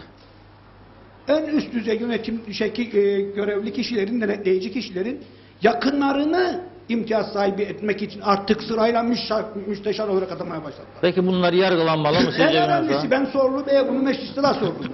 Hiç aklıma benim gelmezdi ki Cumhuriyetçi Türk Partili bir milletvekili olarak Yavuz çıkarmayı savunmak bana kalacak. Maalesef bugünkü zihniyet, bu ülkeyi yöneten zihniyet orayı da pazarlamanın yollarını arıyor. Kendi ailelerine memleketin dönümlerce arazisini peşkeş çekip sonra da başkalarına hava parasına devrederek menfaat elde etmekte hiçbir sakınca görmüyor. Kusura bakmasınlar. Ben mecliste bulunuyorum 4 senedir ama bu meclise hakim olan Pişman mısınız geleceğinize? Mutlu musunuz diye sorarsanız mutlu değilim. Tersi olur ama. Pişman mısınız? Değilim çünkü gerçekleri gözümle görme He. fırsatını buldum. E biz de görür, dışarıdakiler de görür yani. 3 sene komitelerde çalıştım. Bu ülkenin şeklini değişecek yasal düzenlemelerin yapılması için Uğraştınız. Saatlerimi verdim Bodrumlardan. Ne oldu bunlar? Avrupa Birliği ve bazılarımızın beğenmediği ki bize empoze edildiği iddia yapısal dönüşüm programı ile ilgili yasal düzenlemeleri yapmak için. Bugün size açıklıkla söyleyebilirim ki bu memleketin şeklini değiştirecek ciddi yasal hiçbir düzenleme yapılmamıştır. Ve maalesef 20 aya yakındır görevdedir Ulusal Birlik Partisi Demokrat Parti. Bu ciddi yasaların hiçbirisini komitelerde görüştürüp de yasallaştırma niyetinde değildir. Başında da kamu görevlileri değişiklik yasası. Şimdi anlıyorum ne için bunu yapmadılar. Her ay başı geçecek diye bir yasaydı. Kendi yandaşlarını üst kademeden görevlendirip bu ülkeciğin bütçesini çarçur etmek için. Ve öyle bir tahribattır bu ki şimdi para bulamıyoruz ki maalesef Sayın Başbakanımız çok kısa süre önce ekonominin düzlükte olduğunu, para sıkıntısı olmadığını söylemişti. Ama şimdi para bulup da Güzel Yurt, Omorfo yolundaki, e, pardon Lefke yolundaki istimlakleri yapamıyoruz. Para yok. Aynı şey Haspolat yolunda. Gene para yok. Başka bir takım su konusunda. Su geldi, denize akıyor. Biz su yasası yapacaktık. Para bulup bu suyu bir an önce kullanacaktık. Ama maalesef bunu da Türkiye'ye havale ettik. Evet. Yani ben diyorum ki artık bu ülkenin insanı olarak bizler böyle bazı arkadaşların iddia ettiği bir devlet yaratalım ve ona sahip çıkalım. Ama bizim bu yarattığımız devletin imkanlarını bir takım kişilere peşkeş çekeceksek eğer kusura bakmasın kimse ne vergi vermek ister vatandaşımız ne çalışmak ister. Çünkü nedir mesele? Senin ortaya çıkardığın değerleri birisi çarçur ediyor. Tasarruf diye bir şey yok. İhaleleri gördünüz işte. Çok büyük ümitlerle bir ihale yasası çıkardık biz. İlk ihalede bu yönetim yüzüne gözüne bulaştırdı. Koskoca Ercan ihalesinin tartışmalarını izliyorsunuz. Böyle alel hesap, sözlü ihale nerede görüldü? İnsan evini kiralayacaklar. Doğru dürüst bir Sözleşme yapar. sözleşme yapar. Evet. Maalesef bizim ülkemizdeki uygulamalar bunlar. Ve tabii ki yine önemli atadığımız kişiler, bu ülkeyi yönetmek için görevlendiğimiz kişilerin büyük bölümü işinin ehli değil. Böyle bir kamu düzeni kurmuşuz. Böyle bir ya böyle bir hükümet etme anlayışı yaratmışız. Hesap sorduğunda işin içinden çıkıyor. Evet. Ben teşekkür ederim. Sağ olun. içim çok dolu. Açık söylemek gerekirse bu ülkeyi yöneten bir kurumun üyesi olarak beni halkımın oraya gönderdiği bir kişi olarak bunlar gerçeklerimiz. Kimse kalkıp da tersini iddia etmesin. Küçücük bu ülkede herkes biri birini biliyor. Kimin ne yaptığında farkındadır. Teşekkür ederim. Yok yok yok. Burada bitiyor. Burada bitiyor. Nereye gidiyor? Buraya istiyor. Çok kısa yalnız bit, program bitti çok kısa. Kısa söylemeyeceğim çünkü özellikle yeşil arkadaşlarımız burada hiç konuşamadı. E bütün program çağırdık. Aa, hayır fırsat bulmadık. Fırsat bulmadık. Doğru mu? Sizlere Kemal Hürben. tam iki saattir söz vermeye çalışıyoruz ama buyurun. Ya buyurun buyurun buyurun. Tamam. Toparlamamız Biz daha lazım. doğrusu fırsat bulamadık. Tamam, bir Bekledik. şey buyurun, buyurun. İzleyelim dıştan gelen Tabii, arkadaşlar. tabii. Biz de yaşlılıklar olarak konuşalım. Buyurun. Buyurun. Sayın Muhtarımız bazı konulara değindi. Teoman Bey de sağ olsun değindi ama eksik bırakılan bir şeyler olduğu için bir yaşlılık konusunda bir şeyler tamamlamak istiyorum. Tabii, tabii. Bir de Tabii. genel bir durumda bazı Buyurun. gerçekleri görmemiz gerektiğine inanıyorum. Yaşlılık konusuna geliyorum. Yeşilyurt'ta bir yol yapılmıştır. Yol köyümüzün üst başından geçti. Birçokları bazı yerlerdeki insanlarımız, başka köylerdeki insanlarımız veya büyük yerlerde insanlar bir yerden yol geçeceği zaman sevinir çünkü tarlalar, arazileri değer kazanır. Değer kazanacak. Maalesef yeşil yurdumuzda bütün tarla sahipleri hüzünlüdür, üzgündür. Neden? Çünkü malları o kadar daha değersiz hale gelmiştir. Nasıl yapıldıysa tabii bilmiyoruz ama sanki de e, havuz yapacaktık. Öyle bir hal almıştır arazilerimiz. Tabii birçok e, arkadaşımız da henüz daha istimlak paralarını alamamıştır. Onu da söylüyorum. İkincisi yıllardır yaşıyordu gençler kırsal e, kesim arsası bekliyor. Bekliyor. Bunun da nedenleri vardı tabii. Verilmemesinin de nedenleri vardı. Neden? Yeşilyurt'taki kardeşlerimiz, gençlerimiz gidip Lefkoşa'dan e, burada yapacağı evin parası kadar orada sadece bir arsa alabilir veyahut daire alacaktır. Müteahhitler para kazansın diye burada kırsal kesim arsaları dağıtılmıyor. Ben o inançtayım. Üçüncü durum Vehit Bey'in kastettiği su konularında doğrudur. Gargut Deresi bu köyü besliyordu. Fakat ne yazık ki Gargut Deresi'nin önüne güney kesimde Rumlar baraj yapmıştır. Ve Gargut Deresi de artık akmaz olmuştur. Özellikle Yeşilur'da su konusunda devletimizin öncelik tanıması lazım. Zaten burada 3-4 tane su motorları Lefkoşa'ya su pompalamaktadır. Bütün kuyularımız tuzlanmıştır. Tuzlu sularla sulamıyoruz. Ve Yeşilyurt'taki üreticilerimiz diğer yerlerdeki gibi çalışkan insanlardırlar. Bin dönüm bağımız vardı burada söktük bağlarımızı narinci ektik. Onları yetiştirmeye çalışıyoruz tuzlu sularla. Yeşilyurt'taki başka sorunlarımız da var ama fazla şeyinizi almayacağım. Diğer konularda da hayretler içinde kaldım tabii.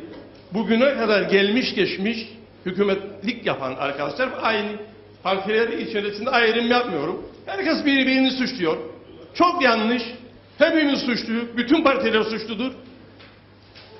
Burada şunu belirtmek isterim. Türkiye ne istedik de yapmadı Allah aşkına. Ne istedik de yapmadı. Burada açıklıkla söylüyorum. İtiraz olan varsa çıksın benim karşıma. Yol istedik yaptı mı yaptı. Uçak alan istedi mi yaptı. Su getirdi mi getirdi. Bu kadar daha sayacak çok şey vardı. Biz beceriksiziz. Biz be- beceriksiziz. Biz Allah aşkına 150 tane müşahir vardı evinde yatır parayı kapar. 10 Evet. milyar maaş. Genç çocuklarımız işsiz, güçsüz, perişan halde kahve köşelerinde. Proje Bunları yapan. çözemedi bu arkadaşlar. Evet. Bu arada birbirimizi suçluyoruz. Yanlış mı bunlar? Doğru. Sadece bu değil birçok. Yarı memur devlette maaş alır dairesine gitmiyor. Her gün raporlu, her gün izinli. 29 sene ben kaymakamlıklarda görev yaptım. Her şeyin ne olduğunu biliyorum. Herkeste bir tembellik, bir bahanecilik, vatandaş sizler karşısında işini yapmak istemez. Bugün git, yarın gel. Yalan mı bu söylediklerim? Çok doğru. İlk önce biz kendi kendimizi burada Sorgulayacağız. değerlendirme yapacağız, sorgulayacağız.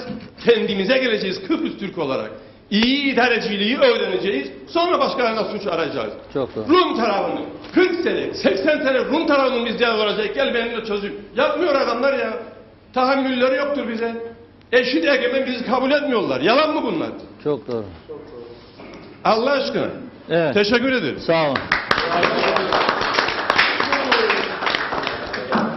Evet, Dur, gel- durdunuz hocayla durdunuz turnayı hocayla. gözünden vurdunuz son Evet. dakika. Hocam buyurun Gecenin bi- güzel- bitireceğiz artık bitti. Değerli arkadaşlar, ben Şinasi Hocanız. Güzel Yurt Sivil Toplum Platformu sözcüsü olarak e, değilim burada yani onu söylemiş olayım. Ben bu programları toplumun dertlerini dile getirdiği için sorumluların da kimler olduğunu halkımız ağzından duyurulması yönünde merakımdan geldim. Ancak Güzel Yurt ile ilgili Sayın Vehip Nekipzade'nin söylemiş olduğu ayrımcı politikayı şiddetle reddederim. Şunu söyleyeyim. Bir kere Güzel Yurt asla hiçbir zaman Lefke'yi Güzel Yurt'tan ayrı düşünmedi. 2005 yılında Halk Konseyi oldu Güzel Yurt'ta. Lefkeliler de çağrılıydı. Bölge insanı da çağrılıldı. Alınan ortak karar muhalefet da, iktidar da, muhtarı da, azası da, milletvekili de imzalarıyla elimde belge var. Ne yazardı onun içinde? Lefke'ye güzel bir liman yapılmasını istiyoruz. Lefke'ye sahil yolu yapılmasını istiyoruz. Lefke'deki Cengiz Topel Hastanesi'nin bütün bölgeye cevap verebilecek bir pozisyona getirilmesini istiyoruz. O imzalar Güzel Yurdun AKM merkezinde atılmıştı. Belimde belgeleri var. Yani asla hiçbir zaman Lefke Güzel Yurt diye bir şey düşünülmedi bizim tarafımızda. Sonradan Lefkeli arkadaşlarımız gerek siyasal yönden, gerek öne çıkmak yönünden sanki güzel yurt enlerinde bir engelmiş gibi tutum ve davranışlarıyla ilçelerini ayırdılar. Ben Şinasi Özdeş olarak Lefke'nin ayrı seçim bölgesi olmasını elimi de ayağımı da masaya vurarak parti yönetim kurullarında vura vura desteklemişimdir. Bu tarih ama bugün bana Sayın Lefke eski belediye başkanı şimdi nedir rütbesi de bilmem. Eski belediye başkanımız yani ben burada Le, Lefke'de e, müdürlük yaparken ilkokulda bana çok büyük yardımlar olmuştur. E, anlayışla birçok okul probleminde beraber sözlük. Onu da söylemiş olayım ama bugün sanki güzel yurt bir engelmiş gibi e, güzel yurda öğrenciler aktarılmasın. E tamam be kardeş, aktarılmasın ya da aktarılsın diye bir şey var o morfoda, bir hareket var. Yoktu. İster aktarın, ister aktarmayın. Eğitim ticarete dönünen bir iş oldu. Yani becerebilen öğrencisini kendi çeker, yurdunu da kendi yapar. Yani güzel yurtta biz çıktık da dedik, aman sakın ha, Lefke'ye kaptırmayın bu öğrencileri. Dedi mi dedik mi ya biz öyle bir şey? Ya belediye başkanından, ya muhtarından, ya azasından başınıza geleni çekin. Hiç umurumuzda bile değilsiniz. Ben size ayrımcılık yapalım dersem ayak bile basamam senin o morfoya. Ben söyleyeyim sana hanım. Kişi olarak söylerim sana. Birçok Lefkeli arkadaşlarımızın geçim kaynağıdır güzel yurt. Öyle midir? Ben kalkarsam ayağa ve şimdi derim. Bebay ben sana güzel yurtta 1500 dönümlük arazi verdim. Yapasın tarım e, fakültesi. Da yapman. Tokatını gıbırtını da ben isterim orasını. Dersem hoşuna gider mi? Hayır böyle bir şey de yapmak istemem. Ama dürterseniz bu ayrımcılığı siz başlatırsanız biz de devam ederiz. Yani parçala böl yönetimini İngilizler yapardı. Bizimkiler de yapar şimdi. Ha, biz buna alet olmayalım. Ne sen ol ne bizi mecburet olalım. Levke güzel yurt bir bütündür. Levke bizden ayrı düşünülemez. Aynı insanı, aynı yerlerden göçmen olduk. Aynı yerde esirhan kamplarından beraber geldik. Ha, bunu böyle yapmayın Allah aşkına. Size çok rica ederim. Yani güzel yurt insanı uysal insandır. Kendi bölgesinde kendi menfaatlerini korumak için bir mücadele vermektedir. Ama biz asla Lefke'ye karşı değiliz. Bütün çalışmalarınızda size destek atışı yaparız ve sizi de çalışmalarınızda başarılı olduğunuz sürece alkışlayacak. Bravo Böyle hocam. bilesek. Evet hocam. Ver, ver, ver, ver. Tabii oraya verelim. Bir cevap hakkı doğdu. Onunla bitirelim artık. Getirelim. Geciktik geçtik bayağı. Biz ayrım yapmış değilik. Benim söylediklerimi bir daha aynen tekrarlayayım. Şimdi KYK eliyle Lefke Üniversitesi'nin öğrencisi güzel yurda taşınmıştır. Yeşil yurtta elini taşın altına koyup yurt yapanların yurtları da boştur. Bizim sitemimiz ve karşı duruşumuz onadır. Bizim güzel yurda karşı bir düşmanlığımız yoktur. Evet. Bizim çağrımız, bizim çağrımız KYK'nın Lefke ilçe hudutları içerisinde yurt yapmasıdır. Cevabı, Ve arzumuz da, arzumuz da güzel yurttaki iki güzide üniversitenin güzel yurda Lefke Üniversitesi'nin Lefke'ye sağlayacağı Tamamdır. katkıdan daha fazla katkı. Tamamdır hocam, bitti. Yoksa bizim güzel yurda karşı bir düşmanlığımız yok. Güzel yurtta dinle hocam ben seni sabırla dinledim. Bizim güzel yurtla bir hastane sorunumuz vardı. Alınan kararla güzel yurda ayrı hastane, gemi konu e, Cengiz Topel Hastanesi'ne de 124 yataklı bir ek ilave yapılacak. Bizim hastane kavgamız da bitti. Bizim güzel yurtla hiçbir kavgamız yok. Peki. Teşekkür Peki, ederim. Çok teşekkürler. Bitir. Efendim böylelikle programı kapatıyoruz. Bu hafta Halk Meclisi'ni Yeşil Yurt'ta gerçekleştirdik. Haftaya görüşmek üzere. İyi geceler.